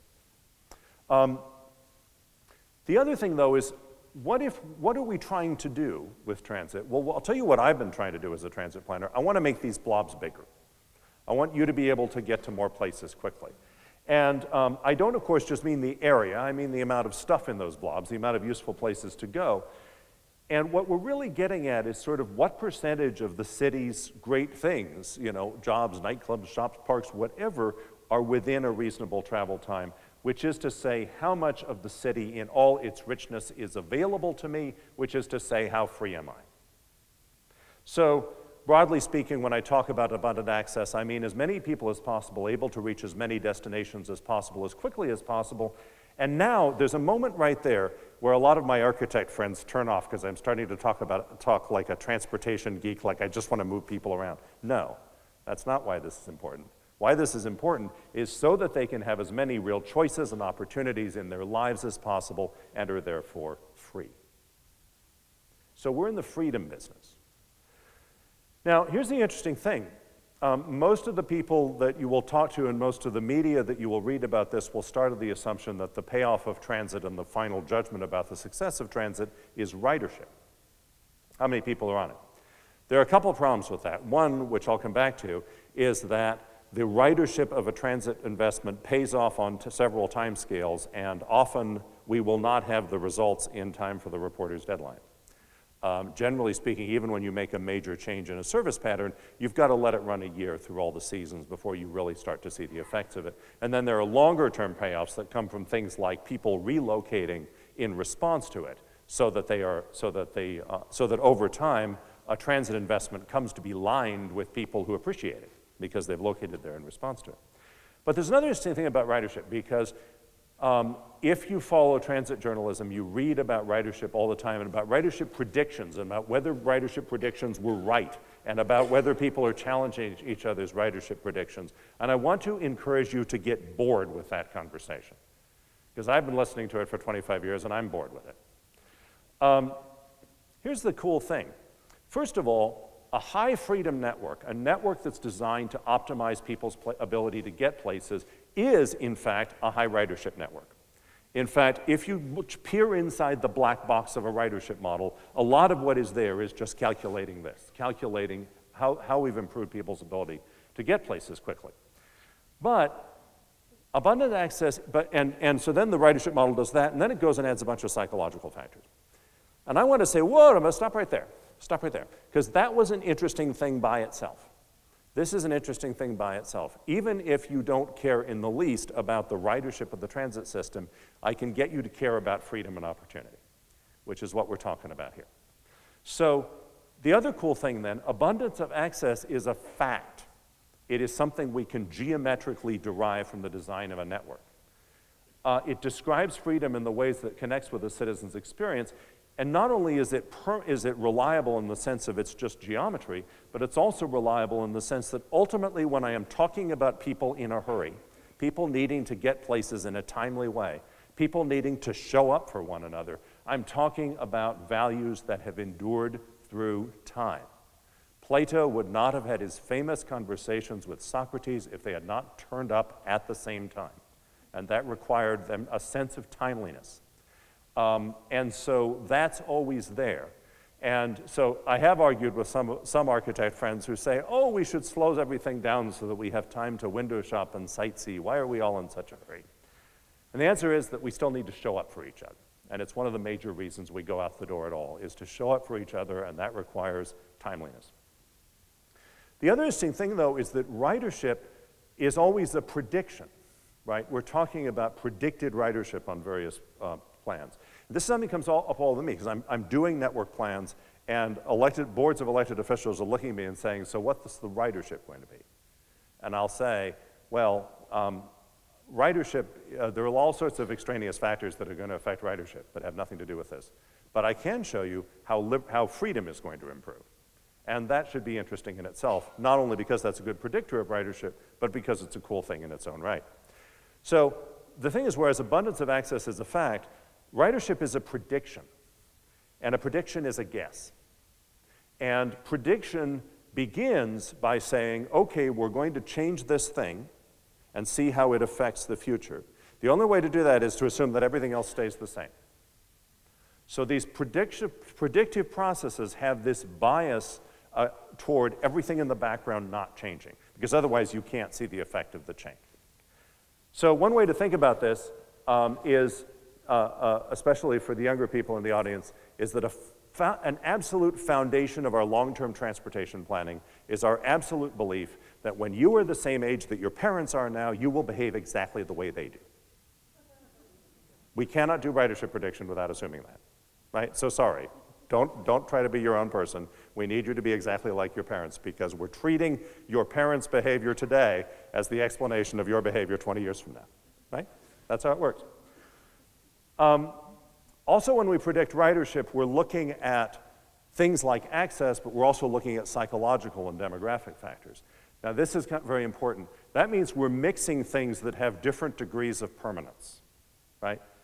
Demographic factors, psychological factors, they keep changing. Cultural factors, they keep changing. Deep biological factors like our need to show up for each other in a timely way, well, a hunting, uh, I mean, a, a, Paleolithic hunting party has to be able to do that to get together and go out on the hunt. And of course, then underlying that is this just fundamental reality of geometry, which you can count on being true anywhere. So let me tell you a little bit about the ridership recipe. Um, the ridership recipe, by and large, which is also the freedom recipe, the way that we go about expanding everybody's ability to get to as many places as possible, is basically high frequency, following a favorable development pattern, with a reasonable speed and reliability, and forming a connected network. I want to come back, back again to this point. This is true on other planets, by which I mean, if you imagine a faraway planet and a totally alien civilization, you don't know whether they're inches tall or miles tall. You don't know whether they get around by hopping, drifting, or slithering. You don't know anything about them, except let's suppose they're intelligent. Let's suppose they have reasons to tend to want to live close together in agglomerations, and let's call those cities. And let's suppose that those cities are of a size where to get around inside them, they need something that goes faster than they can hop, drift, or slither by their own locomotion. That's about all you need to derive the fact that they're going to invent some sort of vehicle. They may invent a personal vehicle, and then they will slam into the problem of congestion. And, or, or they may go ahead and, and, and invent some sort of collective vehicle like public transit, and then all this geometry will be exactly the same as it is on our planet. That's what it means to say I'm describing purely geometric information. When my friends come at me and from, the, from the big data world and say, but where's your data? I'm say, I will say, how many elephants would fit in a wine glass? And he says, well, not even one. Where's your data? You could not even get a grant to do the experiment, could you? that is how sure we are of the answer, without having tried it. So there's something more powerful than data, and that is geometric certainty about the nature of space, and that is what this is. So let's talk about frequency. Frequency, uh, the, how often a vehicle comes along the route, which is the maximum waiting time. It's a cubed value, which, which should tr trigger that we're going to see a nonlinear payoff of it. It means, first of all, less time spent where you don't want to be. This is a more subtle description than just saying that it's waiting time. It's actually all the time that you spend not where you want to be. Um, when, uh, when some of my tech hipster friends go off and think about this by themselves, they decide that frequency is not very important because, of course, you can just sit in a cafe with your laptop and it'll tell you when the bus comes. And I say, no, that is, that is still time not spent where you want to be, and not everyone is going to experience that time the way you do. Somebody who punches a time clock at McDonald's, who has to be there at 8 o'clock, is on an hourly bus route that arrives at um, 7.02 or 8.02, they're going to wait 58 minutes at their destination, right? So it's time you, it's not just time, but it's, it's waiting, it's all the time you spend, not where you want to be. The second, easier connections to reach more destinations quickly. When you get up above about a 15 minute frequency or better, you start experiencing that the bus is coming whenever you need it. That's the first point. But the second point is that as where routes cross, they start to make really easy connections. And that gives you this huge multiplier effect where suddenly each route is useful not only for going there, but also for going anywhere there or there every time the routes cross. I'll come back to that. And the third is better recovery from disruption because if a bus breaks down, the next one will be along soon. But frequency is really hard to explain. And when I'm talking uh, to, to friends who are motorists or talking often to elected officials who are themselves mostly motorists, um, I will realize that they need an analogy. Because if you're a motorist, you, you know what speed is and you know what reliability is. You have the concept of travel time and variability of travel time. But you don't have the concept of frequency. The closest thing to the, in the motorist, ex, motorist experience to that transit sensation of you cannot go until would be a traffic signal. But you know, that's maybe two minutes, three minutes. It's nothing like the kind of delay that frequency imposes on a, on a transit rider. So I end up saying things like, imagine there's a gate at the end of your driveway that only opens once an hour. So you can only get your car out once an hour on the hour. Oh. Then you wouldn't really care as much about the road being faster, would you? Your top priority would be to get this gate to open more. Okay, that's frequency. That's why frequency is actually the necessary condition to have first before we talk about anything else, really, to do with high ridership transit. The need to make frequency clear and the fact that it's also invisible is why a lot of cities are doing frequent network branding of one kind or another. They're drawing maps of just the frequent network because they want people to see you know, a network for people in a hurry, people who aren't going to ride an hourly bus. They want to show them where they can still go. There's Vancouver's, by the way. Uh, Vancouver um, recently, um, and you know, obviously Brent is from there, recently Vancouver did a regional planning exercise, Metro Vancouver did a regional planning exercise where they said is, as a regional goal, over half of all population and jobs will be on the frequent network. That, that sounds very ambitious. They actually achieved that goal in a couple of years after they adopted it. It was achieved two ways, of course, not just by extending the frequent network until half of the population and jobs were on it. It was by putting the frequent network in exactly the right place so that a lot of population and jobs were on it and a lot of population and jobs could come to it, would be built on it, will be added to it. And so it was the way the frequent network fit with and ultimately guided the land use planning that caused this goal to be reached so quickly.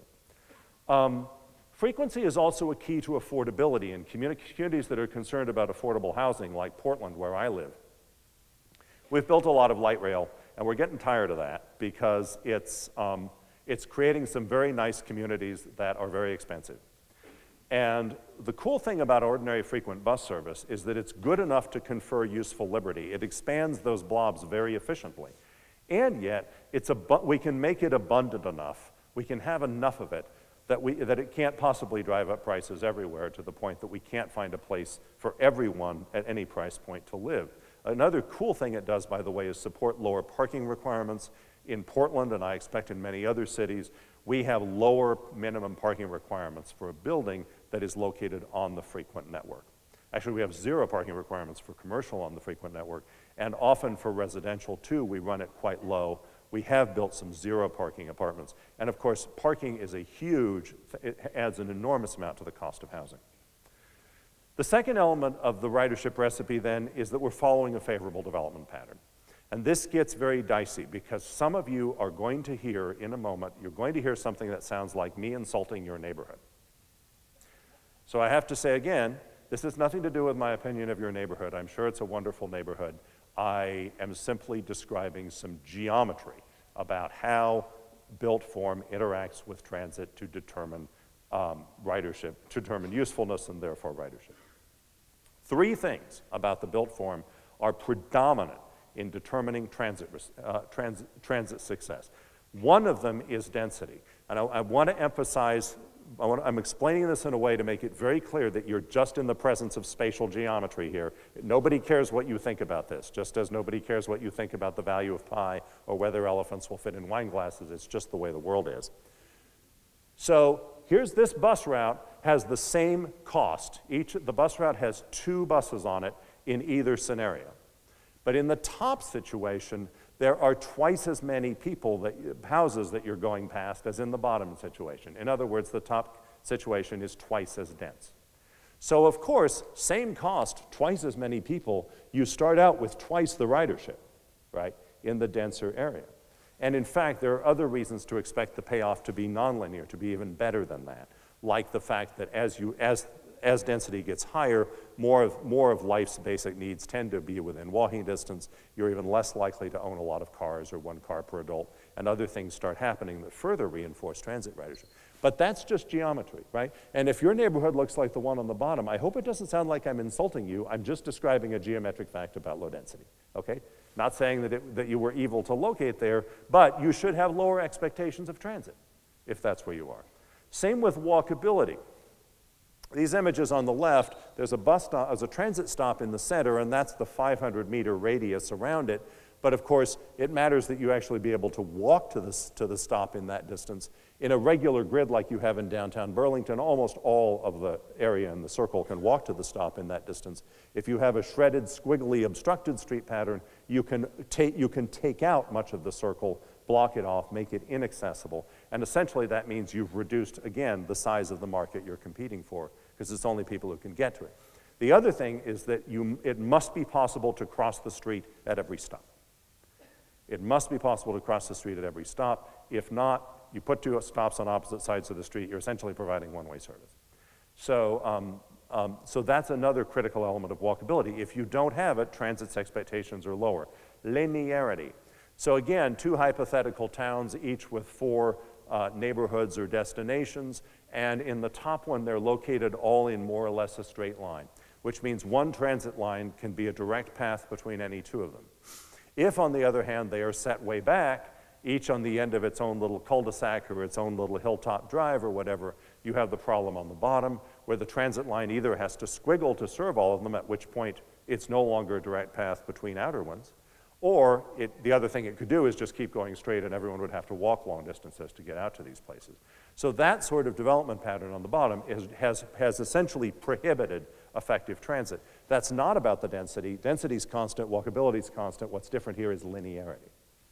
So all those three, thing, three things, it's just geometry. I can't change those things for you. It doesn't matter what you think of them. And I'm sorry if I've, it sounds like I've insulted your neighborhood, but it's, it's just the geometric fact. Reasonable speed and reliability. The most important thing I need to say about speed and reliability is that lots of people think it has something to do with technology.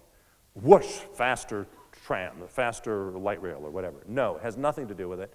Um, speed and reliability is all about how often you stop and what gets in your way. Rail vehicles and tired vehicles can all go as fast as it's safe to go in an urban setting. What matters is whether they have their own track or right-of-way or lane that protects them from other things. Um, and then the, only, the other re main reason to build rail is then capacity. If you need a giant, um, you know, 120 meter long tram in order to meet everyone's needs, then that had better be a tram because we're not going to build a 120 meter long bus.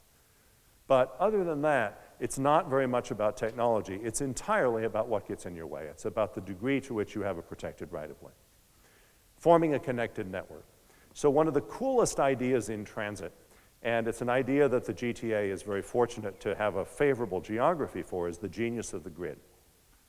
If you run a high-frequency network that consists of routes going north and south and routes going east and west, a grid pattern, then you have this very cool outcome which is that for absolutely any point A to absolutely any point B, I don't have to favor anyone. I don't have to think about whose needs are more important than whose else's needs. This works for absolutely everyone across the grid. Any point A to any point B. The way you get there is to walk, then you don't wait very long because the route is frequent. So you're on your way, you ride, you get to a connection point where you don't wait very long because the route is frequent. And so then you ride, you're on the next bus, you get to near your destination, you get off and you walk. Those are the directions from anywhere to anywhere. We don't have to pick favorites. Um, and this is one of the, and, this is why a lot of the most effective big city bus systems are grid patterns, and why, in fact, you'll see grid patterns emerging in the bus networks, even in cities that don't have a regular grid, like the big regular grid that you have across the GTA. But now, is ridership what you want? Is service that optimizes access, expands the blobs for the greatest number of people what you want? Because it may not be ideal for everyone, even if it's ideal for the greatest number of people. So here's a simple question. Suppose we have a very simple uh, a fictional city where the dots represent people or jobs, and so dots close together is high density, dots far apart is low density. And you got two big streets with most of the densities on, and then the rest of it is squiggles with, with mostly low density. And I have 18 buses. What do I do? How do I lay out a transit network? Well, it depends on what you want. If the goal is ridership, if that's actually the thing we're going to measure, here's what I do.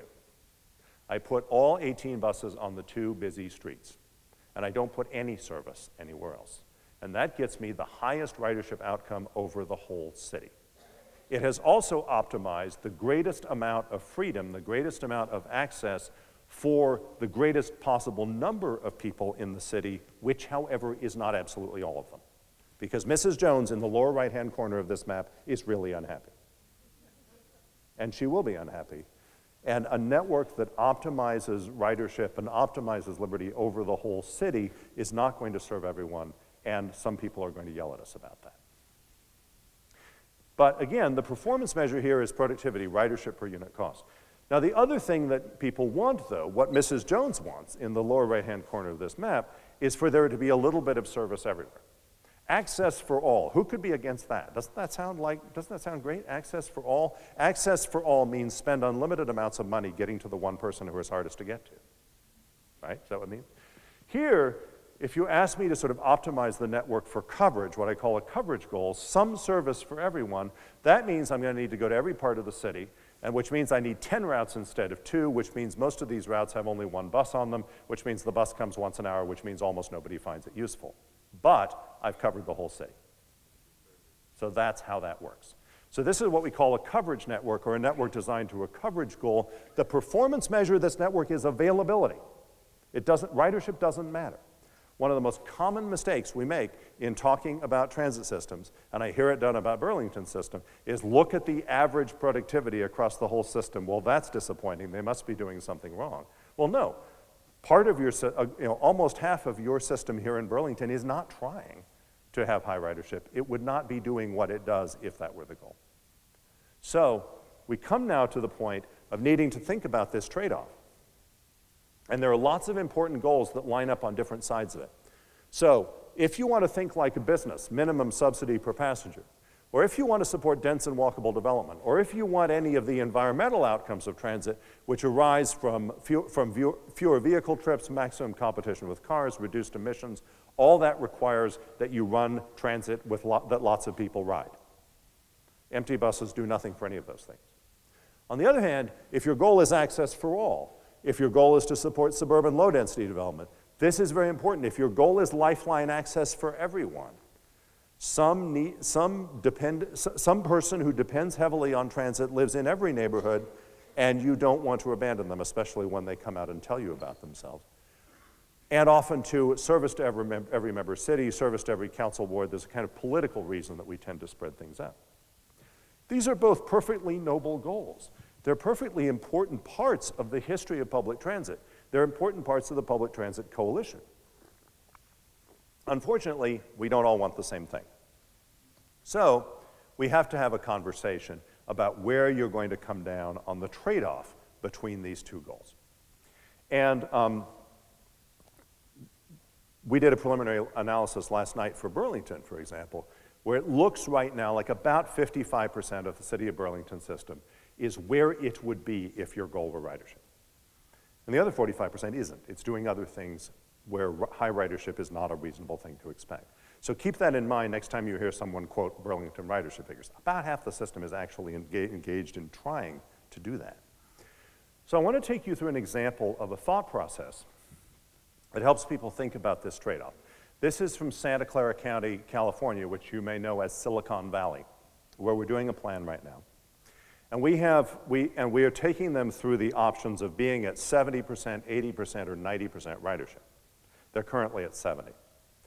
Here's what their system looks like at 70. Please remember, red lines mean high frequency. They mean every 15 minutes or better.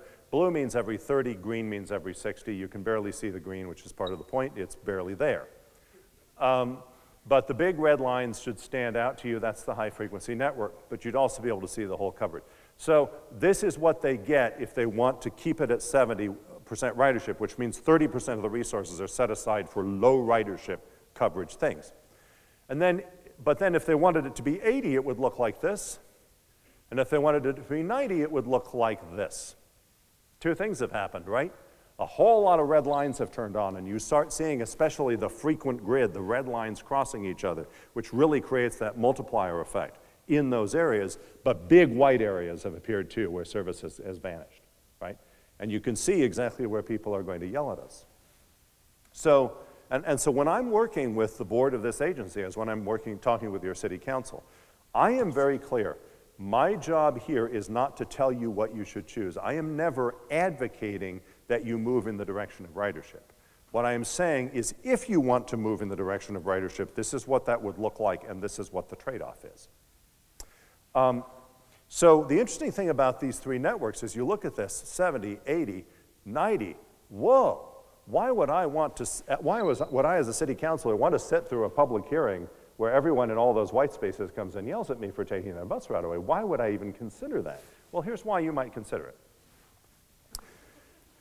Liberty, access, freedom. Okay, colors are slightly different. That person there, that every woman, is called Jane, and um, she is at a particular point out in the middle of the sprawl of Silicon Valley, and the white is where she could be in 15 minutes on transit plus walking, and since nothing runs that frequently there, it's just walking. That just gives her a walk circle.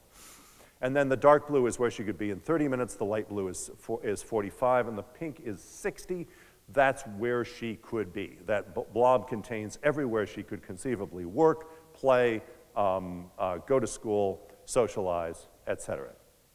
Um, if she's dating and uh, her, her, her right partner is uh, not in that blob, they will probably never meet.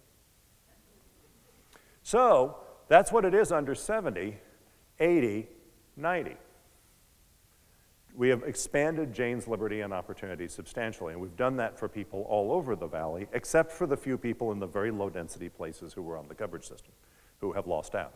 But everyone else, you know, 70, 80% of the population, if not more, has gotten these huge expansions in liberty, which is why they're going to ride more, right? Because the system is simply useful for going to more places.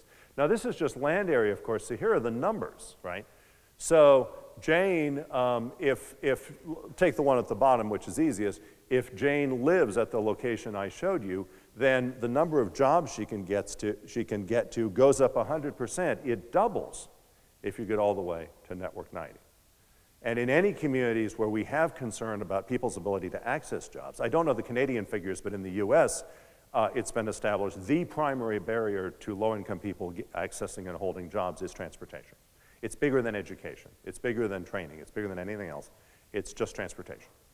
So in those kinds of situations, this really resonates. But anyone you know, who is remotely interested in transit should see that this is just fundamental to, to, to making transit something that you would choose for more purposes.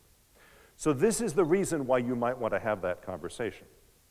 Now again, an agency, including your city, is actually going to make this, have this conversation in three stages. First of all, just how big is the pie? How much do we want to spend on transit? How much transit are we going to have? Then, secondarily, how should the pie be divided between ridership and coverage goals, understanding that those will lead to different outcomes? And that if you want to measure ridership outcomes, you should measure the ridership outcomes of the part of the network that's trying to do that. Um, here, of course, it immediately becomes apparent that if you struggle with dividing your current pie between ridership and coverage, and I run some workshops where people actually get to play with uh, tools that enable them to experience that personally, you very quickly discover that this would be a whole lot less painful if there were a larger pie. And uh, because it's very agonizing. Um, and so one of the policies that I often see adopted is we're not going to shift the boundary within the current pie, but as we add resources, we'll add them only on the ridership side. And so over time, the ridership side will grow, the coverage side will stay what it is. We won't actually cut anybody's bus route. That's one approach to take. Um, the third dimension of this, of course, is short-term or long-term. So when you're thinking about ridership outcomes, you have to remember there's the one-year ridership outcome, which is the result of everyone finally having figured out the service. The one year after the big change. Everyone's figured out how to use the service. People, based on where they are, are more or less using it if they're going to. Then there's a kind of three or four year payoff and that's the payoff of a lot of people having relocated in response to the service, but still mostly within the current built form. And people will start to do that. You show them where the frequent service is and they'll move to it when they're, or think about that when they're considering a relocation. And then finally, 10 or 20 years out, you've got the payoffs of development having occurred in, partly in response to that service. So you've got multiple different timelines where the ridership payoff exists. Whenever you read an article that says, one year in, such and such shows disappointing ridership, you have to stop and ask whether one year in is was really the point, because often it isn't. I want to end, the last unit I want to talk to here is, is about binary thinking. And I'm, this is, this, I, I, I state this fairly baldly in what you may sense is sort of a south of the border directness. Um, but I know it exists in Canada too.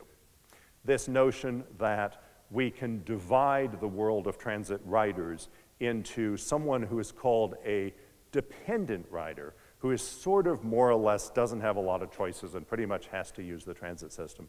And then there's something called a choice rider, and I'm supposed to make him leave his car in the driveway, right?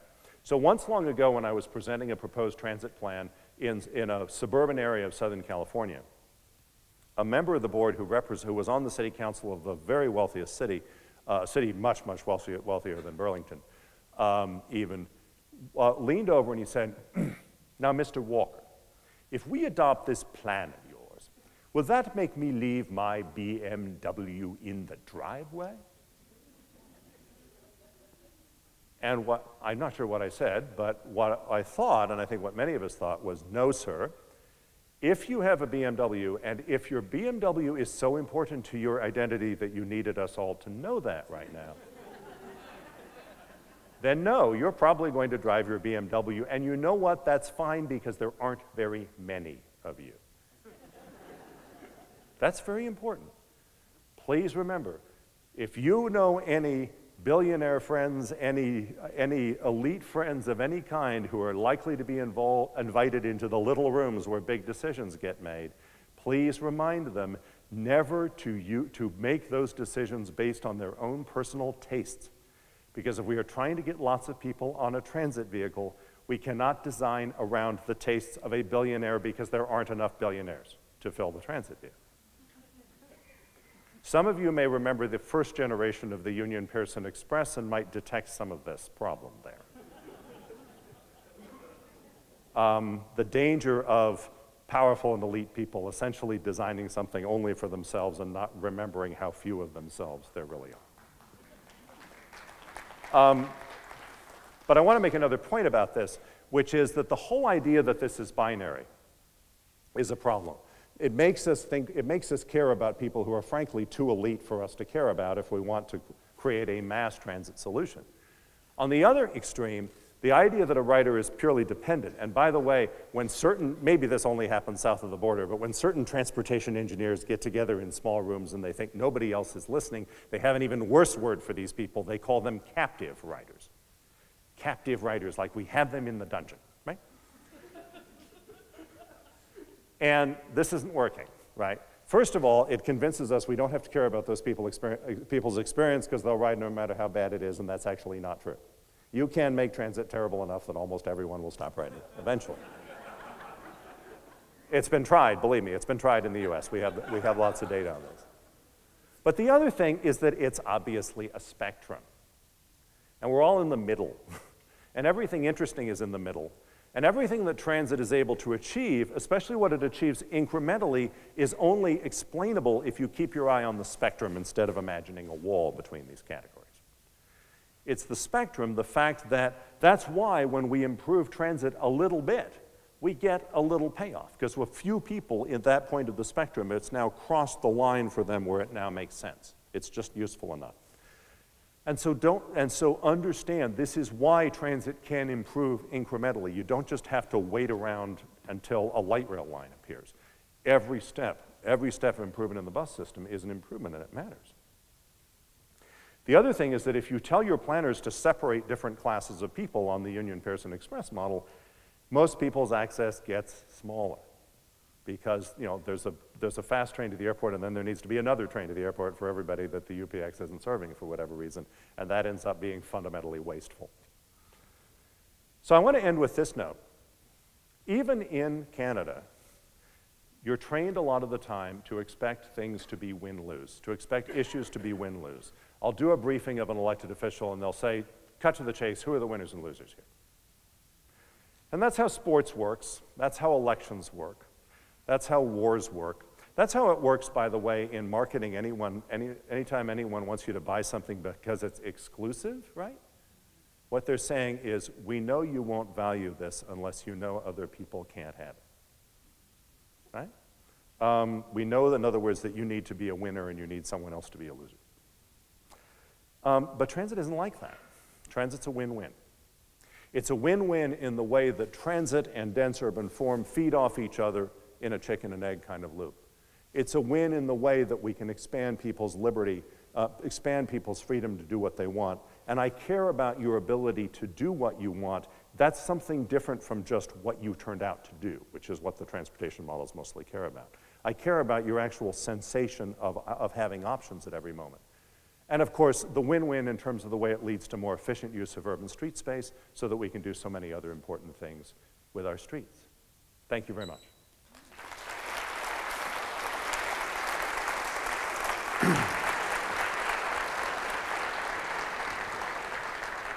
So thank you very much to Jarrett. So we're just going to take a few moments, set up some chairs here, and then you're going to be able to ask us all the questions you want, all the, all the tough questions. You can put us all in the hot seat and, and uh, make us squirm. But uh, anybody learn anything tonight? Isn't it amazing? I'm looking at Walter Mulkewich in the, in the audience. I have lunch with Walter about every six months, and every six months he reminds me how we need to do more about transit. So, Walter, we're getting there, right? This is a big part of the discussion tonight and actually getting there. In fact, I do want to make mention of the fact that there is a, there is a budget item in our proposed 2017 capital budget to spend some meaningful dollars on developing a transportation plan in conjunction with our official plan. So I expect that will be passed by council. We'll see a lot of work done uh, in the next 12 months and coming back to us for the 2018 budget in time for a meaningful investment to improve transit. So in any event, let's welcome back our, our uh, panelists for the discussion. We have um, two more chairs coming. But we also have uh, Mary Lou Tanner, our Director of Planning, just to remind you, and Brent Toderian, of course. And we have Mike Spicer, our Director of Transit. And uh, we have Vito Tolone, who hasn't been out here tonight. Vito's our Director of Transportation. And of course, we have Jarrett Walker, who you just heard from. So we want to welcome everybody, and I'm sure there's some questions for those people that haven't yeah, left yet. Any questions for us? I'm looking around. Uh, Doug and Jim up here have questions. Here comes the mic. So go ahead, Jim. Yes, I'd like to know more about the transit. You keep, you, you keep bringing up uh, comparable uh, what they do in Vancouver. Um, there's other two big cities in this country, Toronto, the Toronto Transit, TTC, and you got the Montreal STM. The STM's got four underground metro line underground, double track, steel tires, rubber tires, and fast moving across Montreal. Toronto's got the, the, the steel wheel um, subway system. It pretty fast, but not as fast as Montreal. Do you have a question there, Jim? Yes, I do. When is the better way to run this transit to get it from point A to point B very quickly across the city? Either you have to go underground or go above ground because you're running into red lights, you're running into bus stops, and people want to get across the city. So you want to look at some form of rapid transit that's different than buses. Okay, so. Yeah, yes. Okay, so, so Jarrett, I think you can Look, give us what some matters comments most is speed and reliability.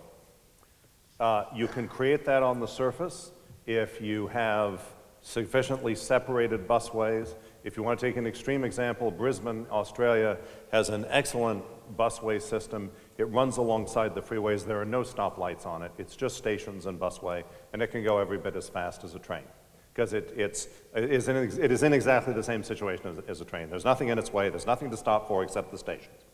So um, you can do that you know, elevated or underground. We tend to go elevated or underground when we don't have room on the surface, but underground is extremely expensive, about 10 times the cost of building on the surface. Elevated is four or five times the cost of building on the surface, and then you have to fight battles about all the shadows that you've cast over everyone's, everyone's homes. So, um, you know, I've been through a lot of these debates, and um, there's a good reason, first of all, for why we build metros when we really need high volume transit and we don't have room left on the surface, right? Toronto's downtown relief line has to be a subway because there's no room anywhere else in downtown Toronto, right? When we're out in this sort of development pattern here, especially we have these very wide street rights of way that you haven't begun to use. You have room for nine lanes on most of these streets and you have five. And I'm not saying you want any more traffic lanes. I'm just saying there's, there's no, there's, you don't want any more traffic lanes, but there's room to do other things, is my point. There's room to create a busway if you want. Um, so there are a lot of things that can be done on the surface. And remember, if we can do it on the surface, we can have so much more of it quickly. than we would have if we have to build underground. Doug Brown, another question over here, and then we'll have a question up, up front from Dee Dee, and then there's uh, a question in the middle there. So we'll go Doug, Dee Dee, and then back there. Okay, great. Well, thanks everyone for your, uh, your presentations. And uh, uh, this afternoon, uh, uh, Jarrett, you, you had uh, a pretty informative slide about the size of the pie. Uh, and it showed uh, per capita spending by municipalities uh, in, this, in this area. And it might, I don't know if it's possible to put, put that slide up tonight, but my recollection, and, and I've, seen, I've seen other forms of uh, that comparison, Burlington is well behind our peer municipalities in per capita transit spending. So, so to me, a, a key factor is making sure in Burlington that the pie is of adequate size before we really get into the debate about uh, cover, coverage uh, versus uh, ridership. So uh, uh, I, I, so, so Doug, the, the, the, the, the information Doug's referring to is a comparison of Burlington's level of investment, public spending per capita on transit compared to a bunch of comparable cities. And uh, we did comparisons with a bunch of comparable cities. The nearest to here that are close peers are Oakville and St. Catharines, um, but then a number of other places around like Guelph and so on that are, about, that are similar in size. And um, Burlington has by far the lowest public investment per capita. Compared to Oakville, for example, which is a somewhat less ambitious city in terms of density, um, Oakville is spending about 50% more per capita on transit as Burlington. That's what you're referring to. Yeah. If you decide to be influenced by peer pressure, not everybody is, you know? a question for Dee Dee right here in the, in the front row. Um, my question has to do with the affordability of housing in Burlington and how that will affect transit use. Um, with millennials coming up, uh, affordability of housing is a key issue because what um, I've just read recently in a CIBC survey that was done is the millennials, who we assume are all the hipsters that want to live in the condos in the downtown urban areas, they've actually found out that these millennials are interested in buying homes where they can rise, raise their families. And if they can't afford them in towns, they're buying them in other communities and then driving to where the jobs are. So, what can we do within the city to make housing affordable for the millennials?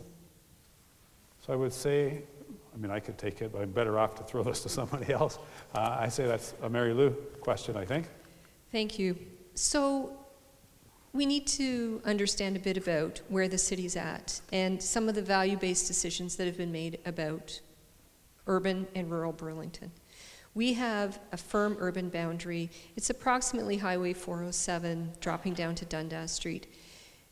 The Niagara Escarpment Plan covers rural Burlington, but more importantly, for several years, councils have repeatedly said that is the limits of urban growth. And we're finishing the last single family homes in Burlington. And you're right, there is a single family home affordability issue. We have about seven or 800 single family traditional subdivision lots to be built. If you saw the launch of Sundial Homes around Dundas in the 407 earlier this year, they started in the low 900,000s, which is out of reach for most of us. So our opportunity for building affordable housing is going to be in the areas where the city's going to grow, around the GO stations and downtown. And it's going to be denser housing, it's going to be multiple family housing, because it does a few things. First of all, because of the value of land, it gets us to build a number of units that are at an affordability level that achieves most people's needs. Second thing it does, when we build density, as Jarrett clearly showed and Brent talked about, we're building in success for transit. And what we're also doing is making it easier for people to not have a second car or even have no cars because we're doing the other things that a reliable, frequent transit service gets us, which is making cycling delightful, walking, building in things like car share, and making car share successful. Affordability of housing in Burlington is going to be multiple family housing in the future. But we are going to build really great walkable, bike, bikeable, transit oriented communities. And what we hear from some of the major developers is whether you're in your 20s or in your 60s, both age groups want that.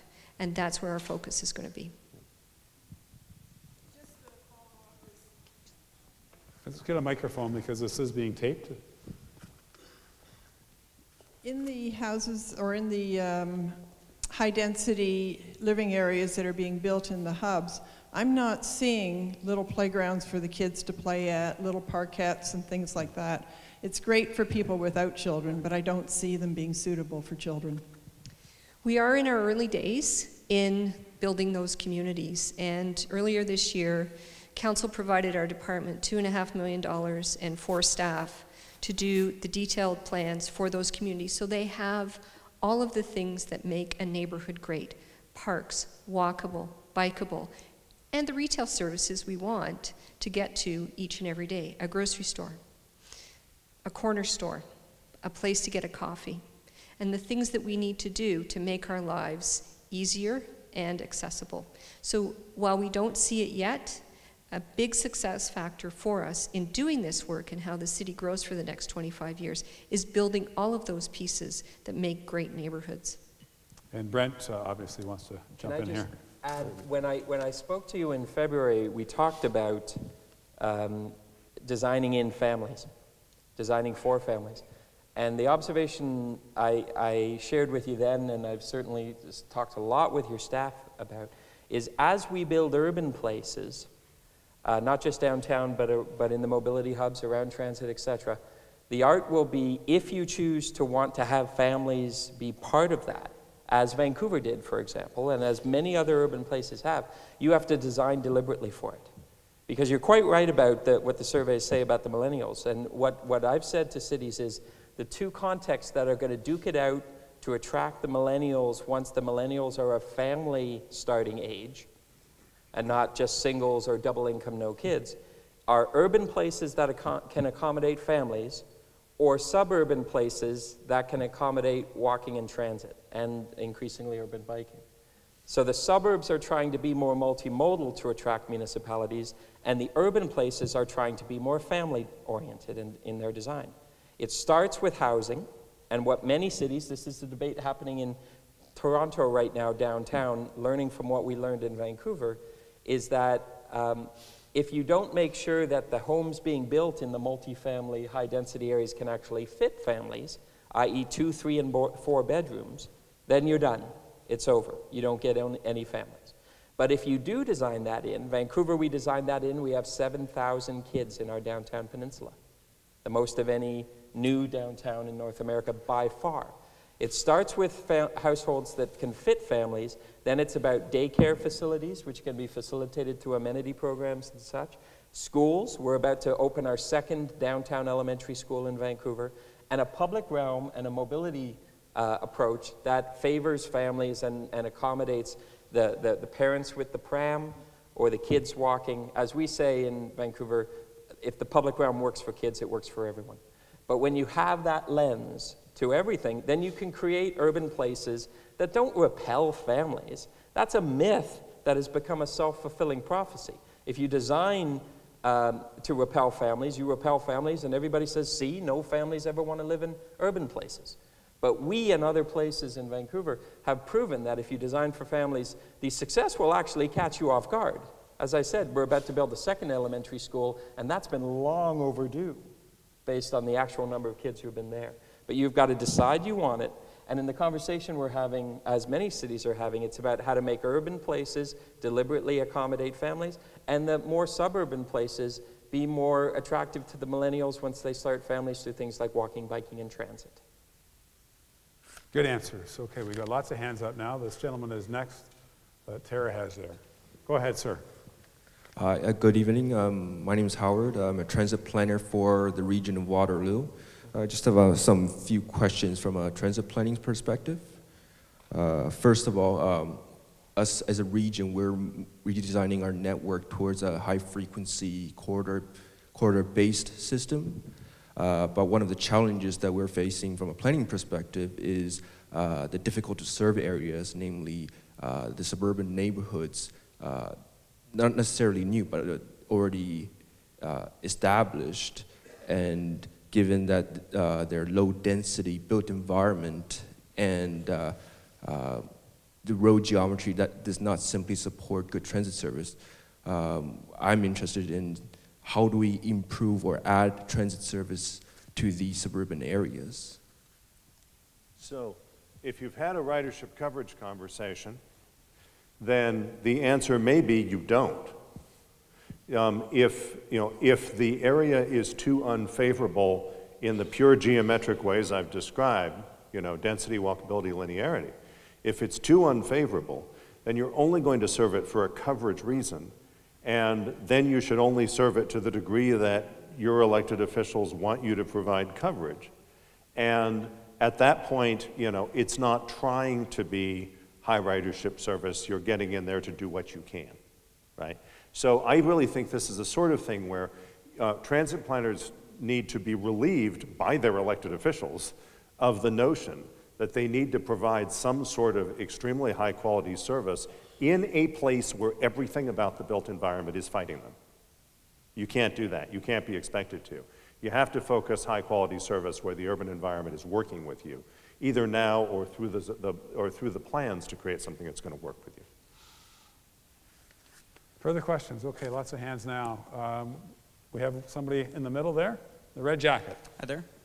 Um, I'm Chris. I'm with the uh, Burlington Cycling Committee, but my question is around um, businesses in Burlington, and we have a very predominant uh, big box retail uh, type environment in the city.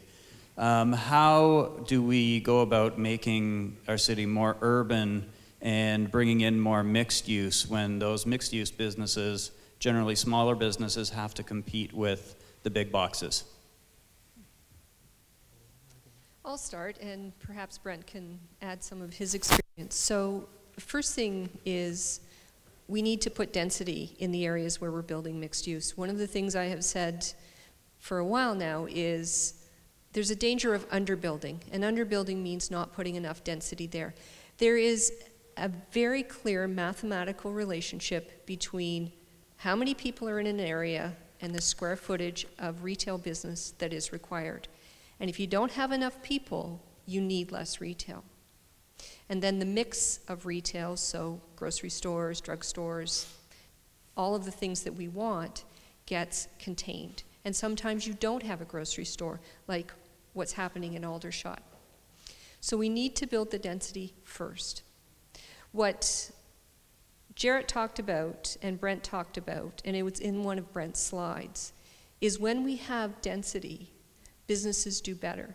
The research in North America is showing that when you have walkable places that are dense, people walk to them to shop and they bike to them to shop.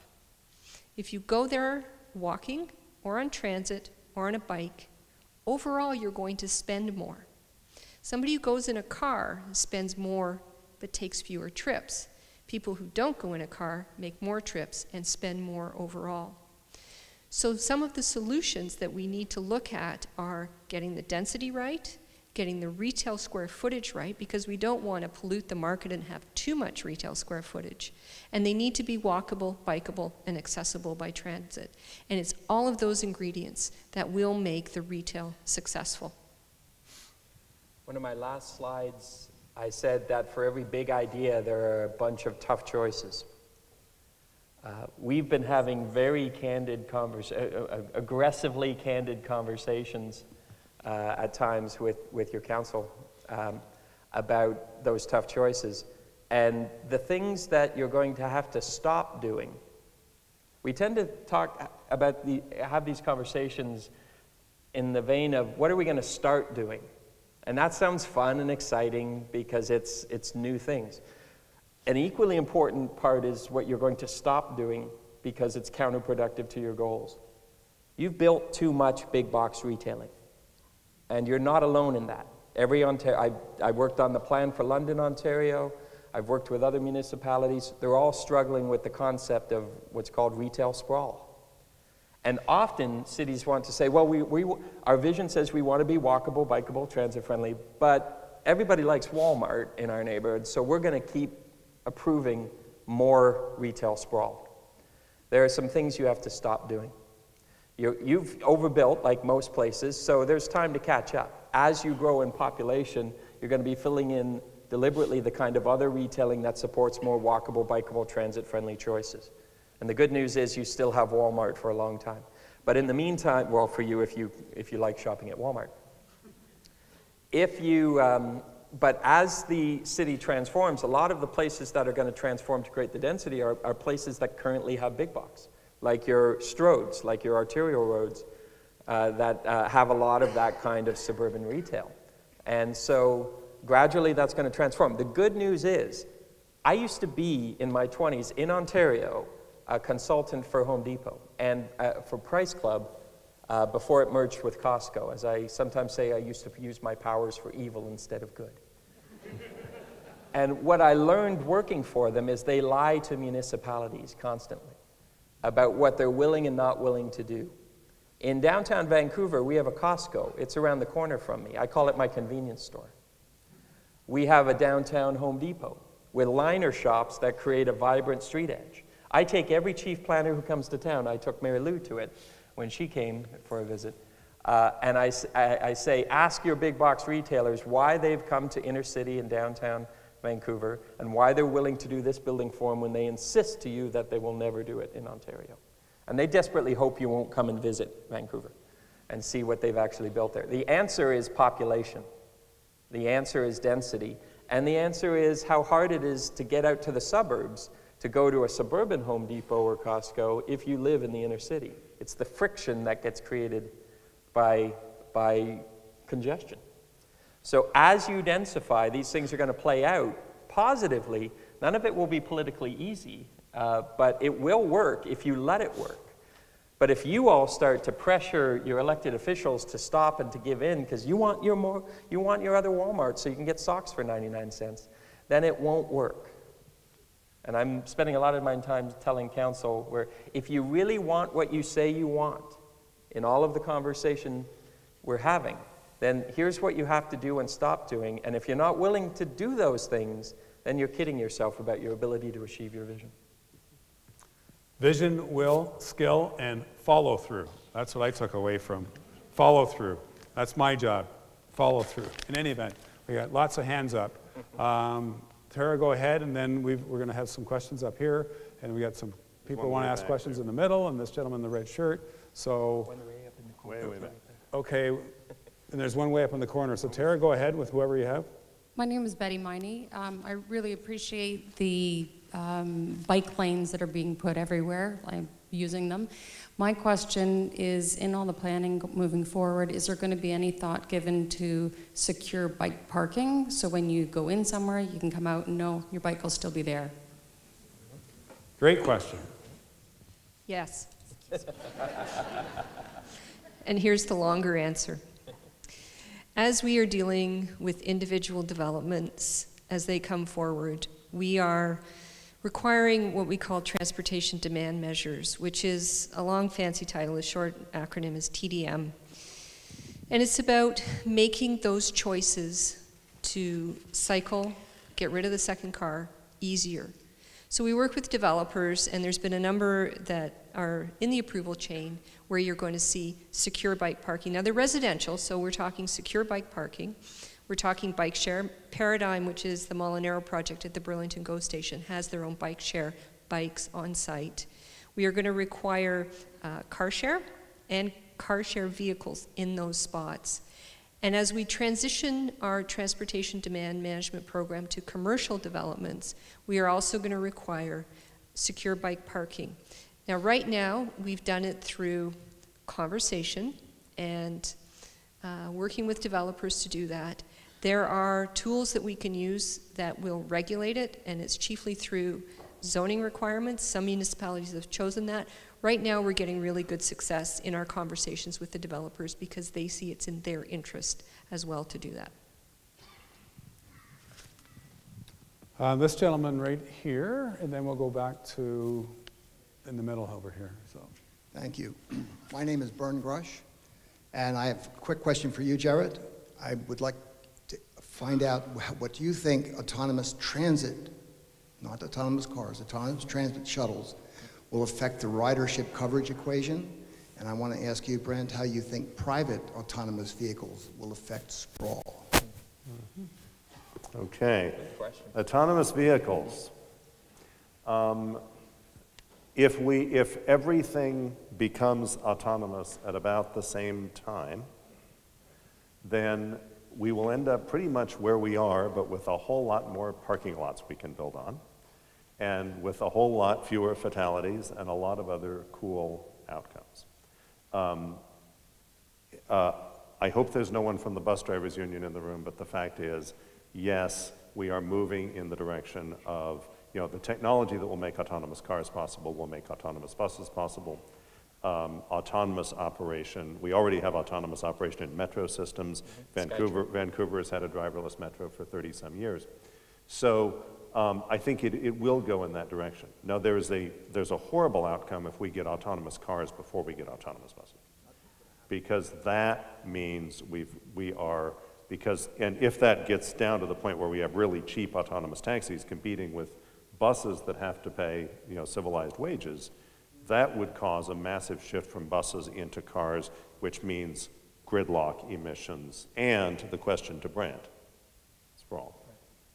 And it, it- I have been a, uh, what's the word, selective naysayer on the issue of, of whether autonomous vehicles are, are good or evil. Um, I've noted commentators tripping over themselves to talk about how positive driverless cars are going to be for cities. M- many of those pundits are people who may understand cars, but they don't understand cities, in my observation. Uh, and it ignores uh, the, um, the, the, the basic truism that every time we've ever improved technology around cars, it's led to more driving. Every single time. If you find, if, if autonomous vehicles are uh, able to affect their spacing in a, in a positive way that will allow, provide capacity on existing roadways, what we've learned is that more cars show up. And so you end up right back where you started. The number one variable, and I think you're, you're, you're pitching me a softball here because you may or may not know what I've said before or hoping I'm going to say what you think. But the, the, what I say is that the most important variable in the reality of autonomous cars is ownership. If we get, if we uh, get, and, and a lot of the people who are saying it's going to be positive are assuming public ownership, that this is essentially car share without drivers, or Uber without drivers, maybe uh, is another way of putting it.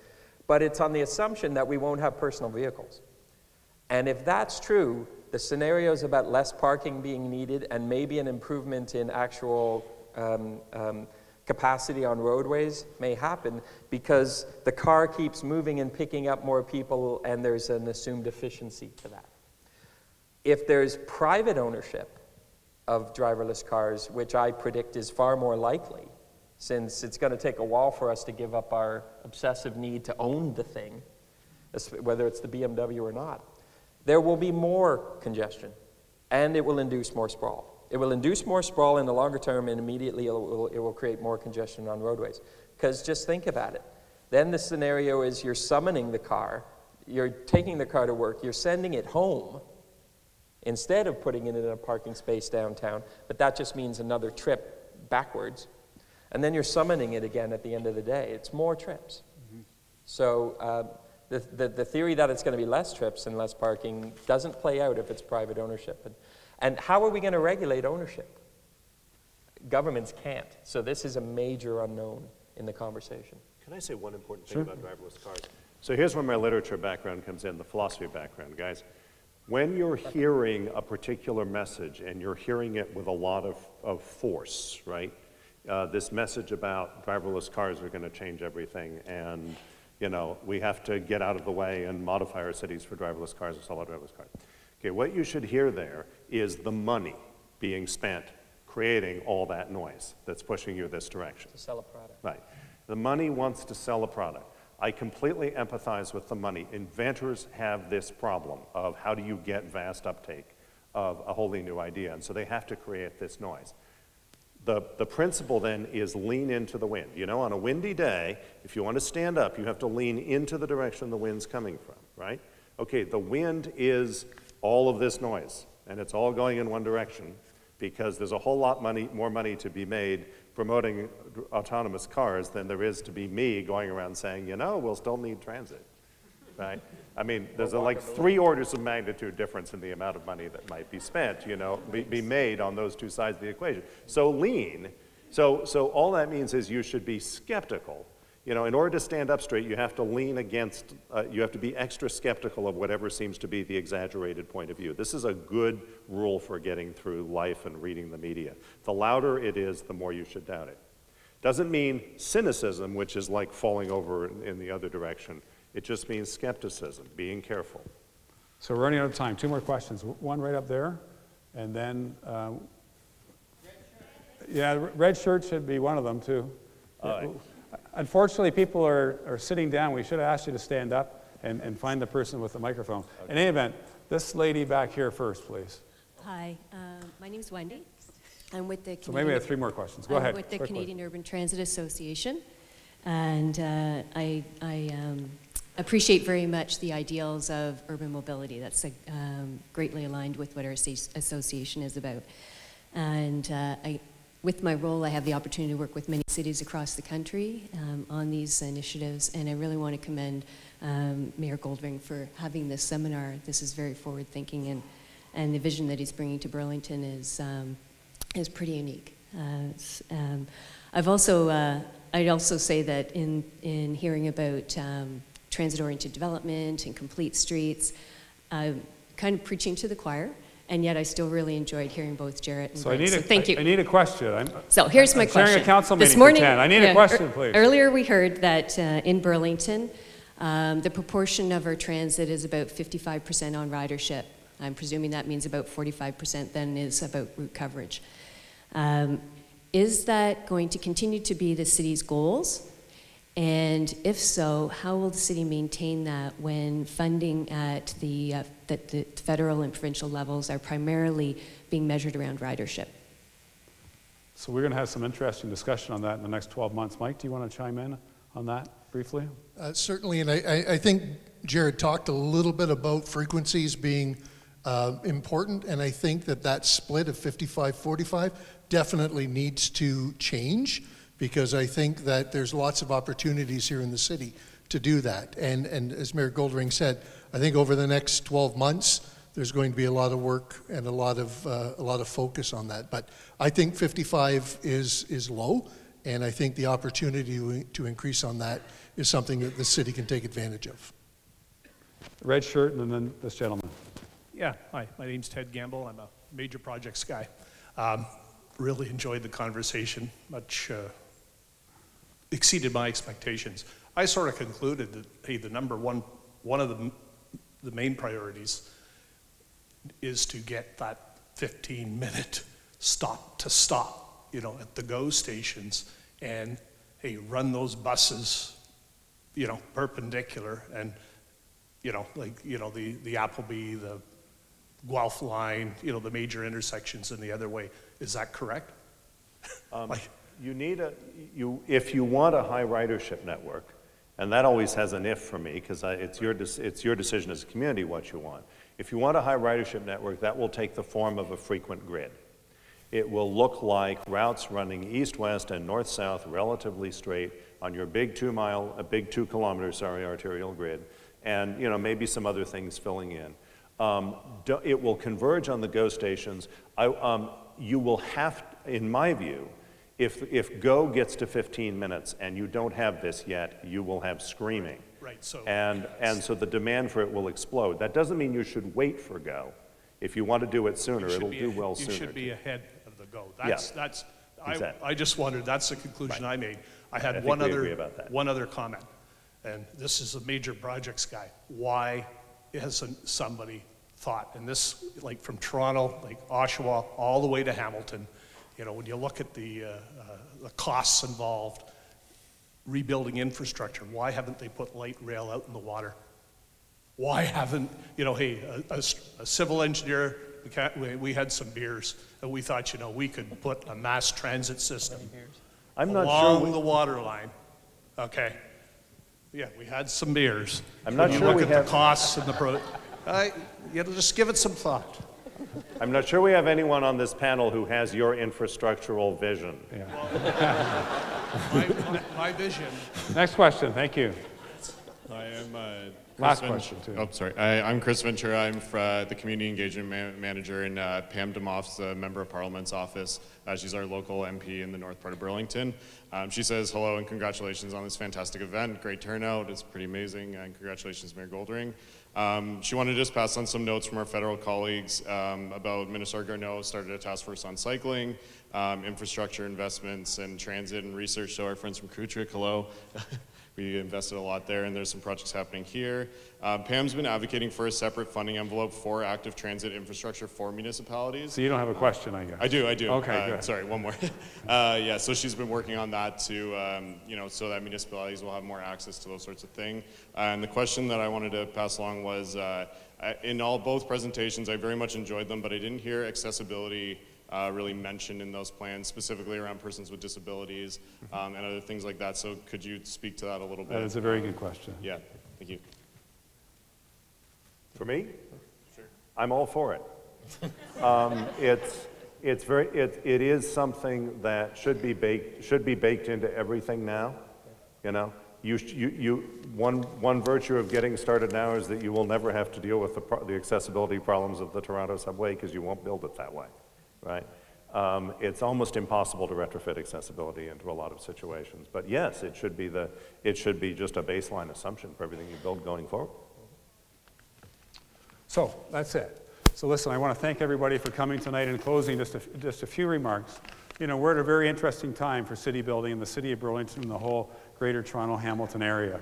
Um, there is lots of opportunity to improve our cities, to make them more uh, prosperous, uh, more inclusive, and improve the quality of life for everybody by planning the way we're planning, and more importantly, for implementing and building great, compact, walkable neighborhoods that have great transit connections. We have much work to do. We've come a long way in the last year. We've got a long way to go. Please stay tuned and stay engaged and give us your input as we are developing a new official plan, as we are developing our, our strategies and our plans around mobility hubs as far as future development. You know, it's easy when you have greenfield and you have farmland to pave over. It is much more challenging to do what we're doing. But this is the die that's been cast, and we are accepting this. We believe that we're embracing this opportunity, and we really see this as an opportunity to improve our community uh, for everybody. So I do want to take this opportunity to thank the students at Hayden High School for your interest and your involvement in your video. There were 13 community groups in the foyer this evening that were providing some information. I want to thank all those groups. I can't, can't list them all, but all the groups are out there. I want to thank Cogeco TV, truly local television, and all their team for being here tonight. This, this will be shown on Cogeco at a future date. Stay tuned and to the mayor's website, and we will get you that uh, information. We'll post it.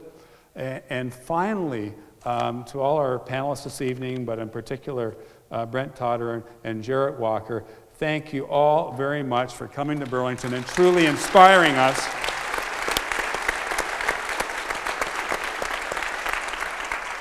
for truly inspiring us and pointing us in the right direction so we continue to be one of the most desirable, if not the most desirable city to live anywhere in Canada. Thank you very much for your contribution this morning, and thank you to all of you. And stay tuned and pay attention to the social media and all the newspapers and so on and so forth. This is very exciting times in our city, and we want to engage everybody. We want you all to be part of it. So thank you very much, and, and have a safe bus ride or bike ride or walk or car ride home.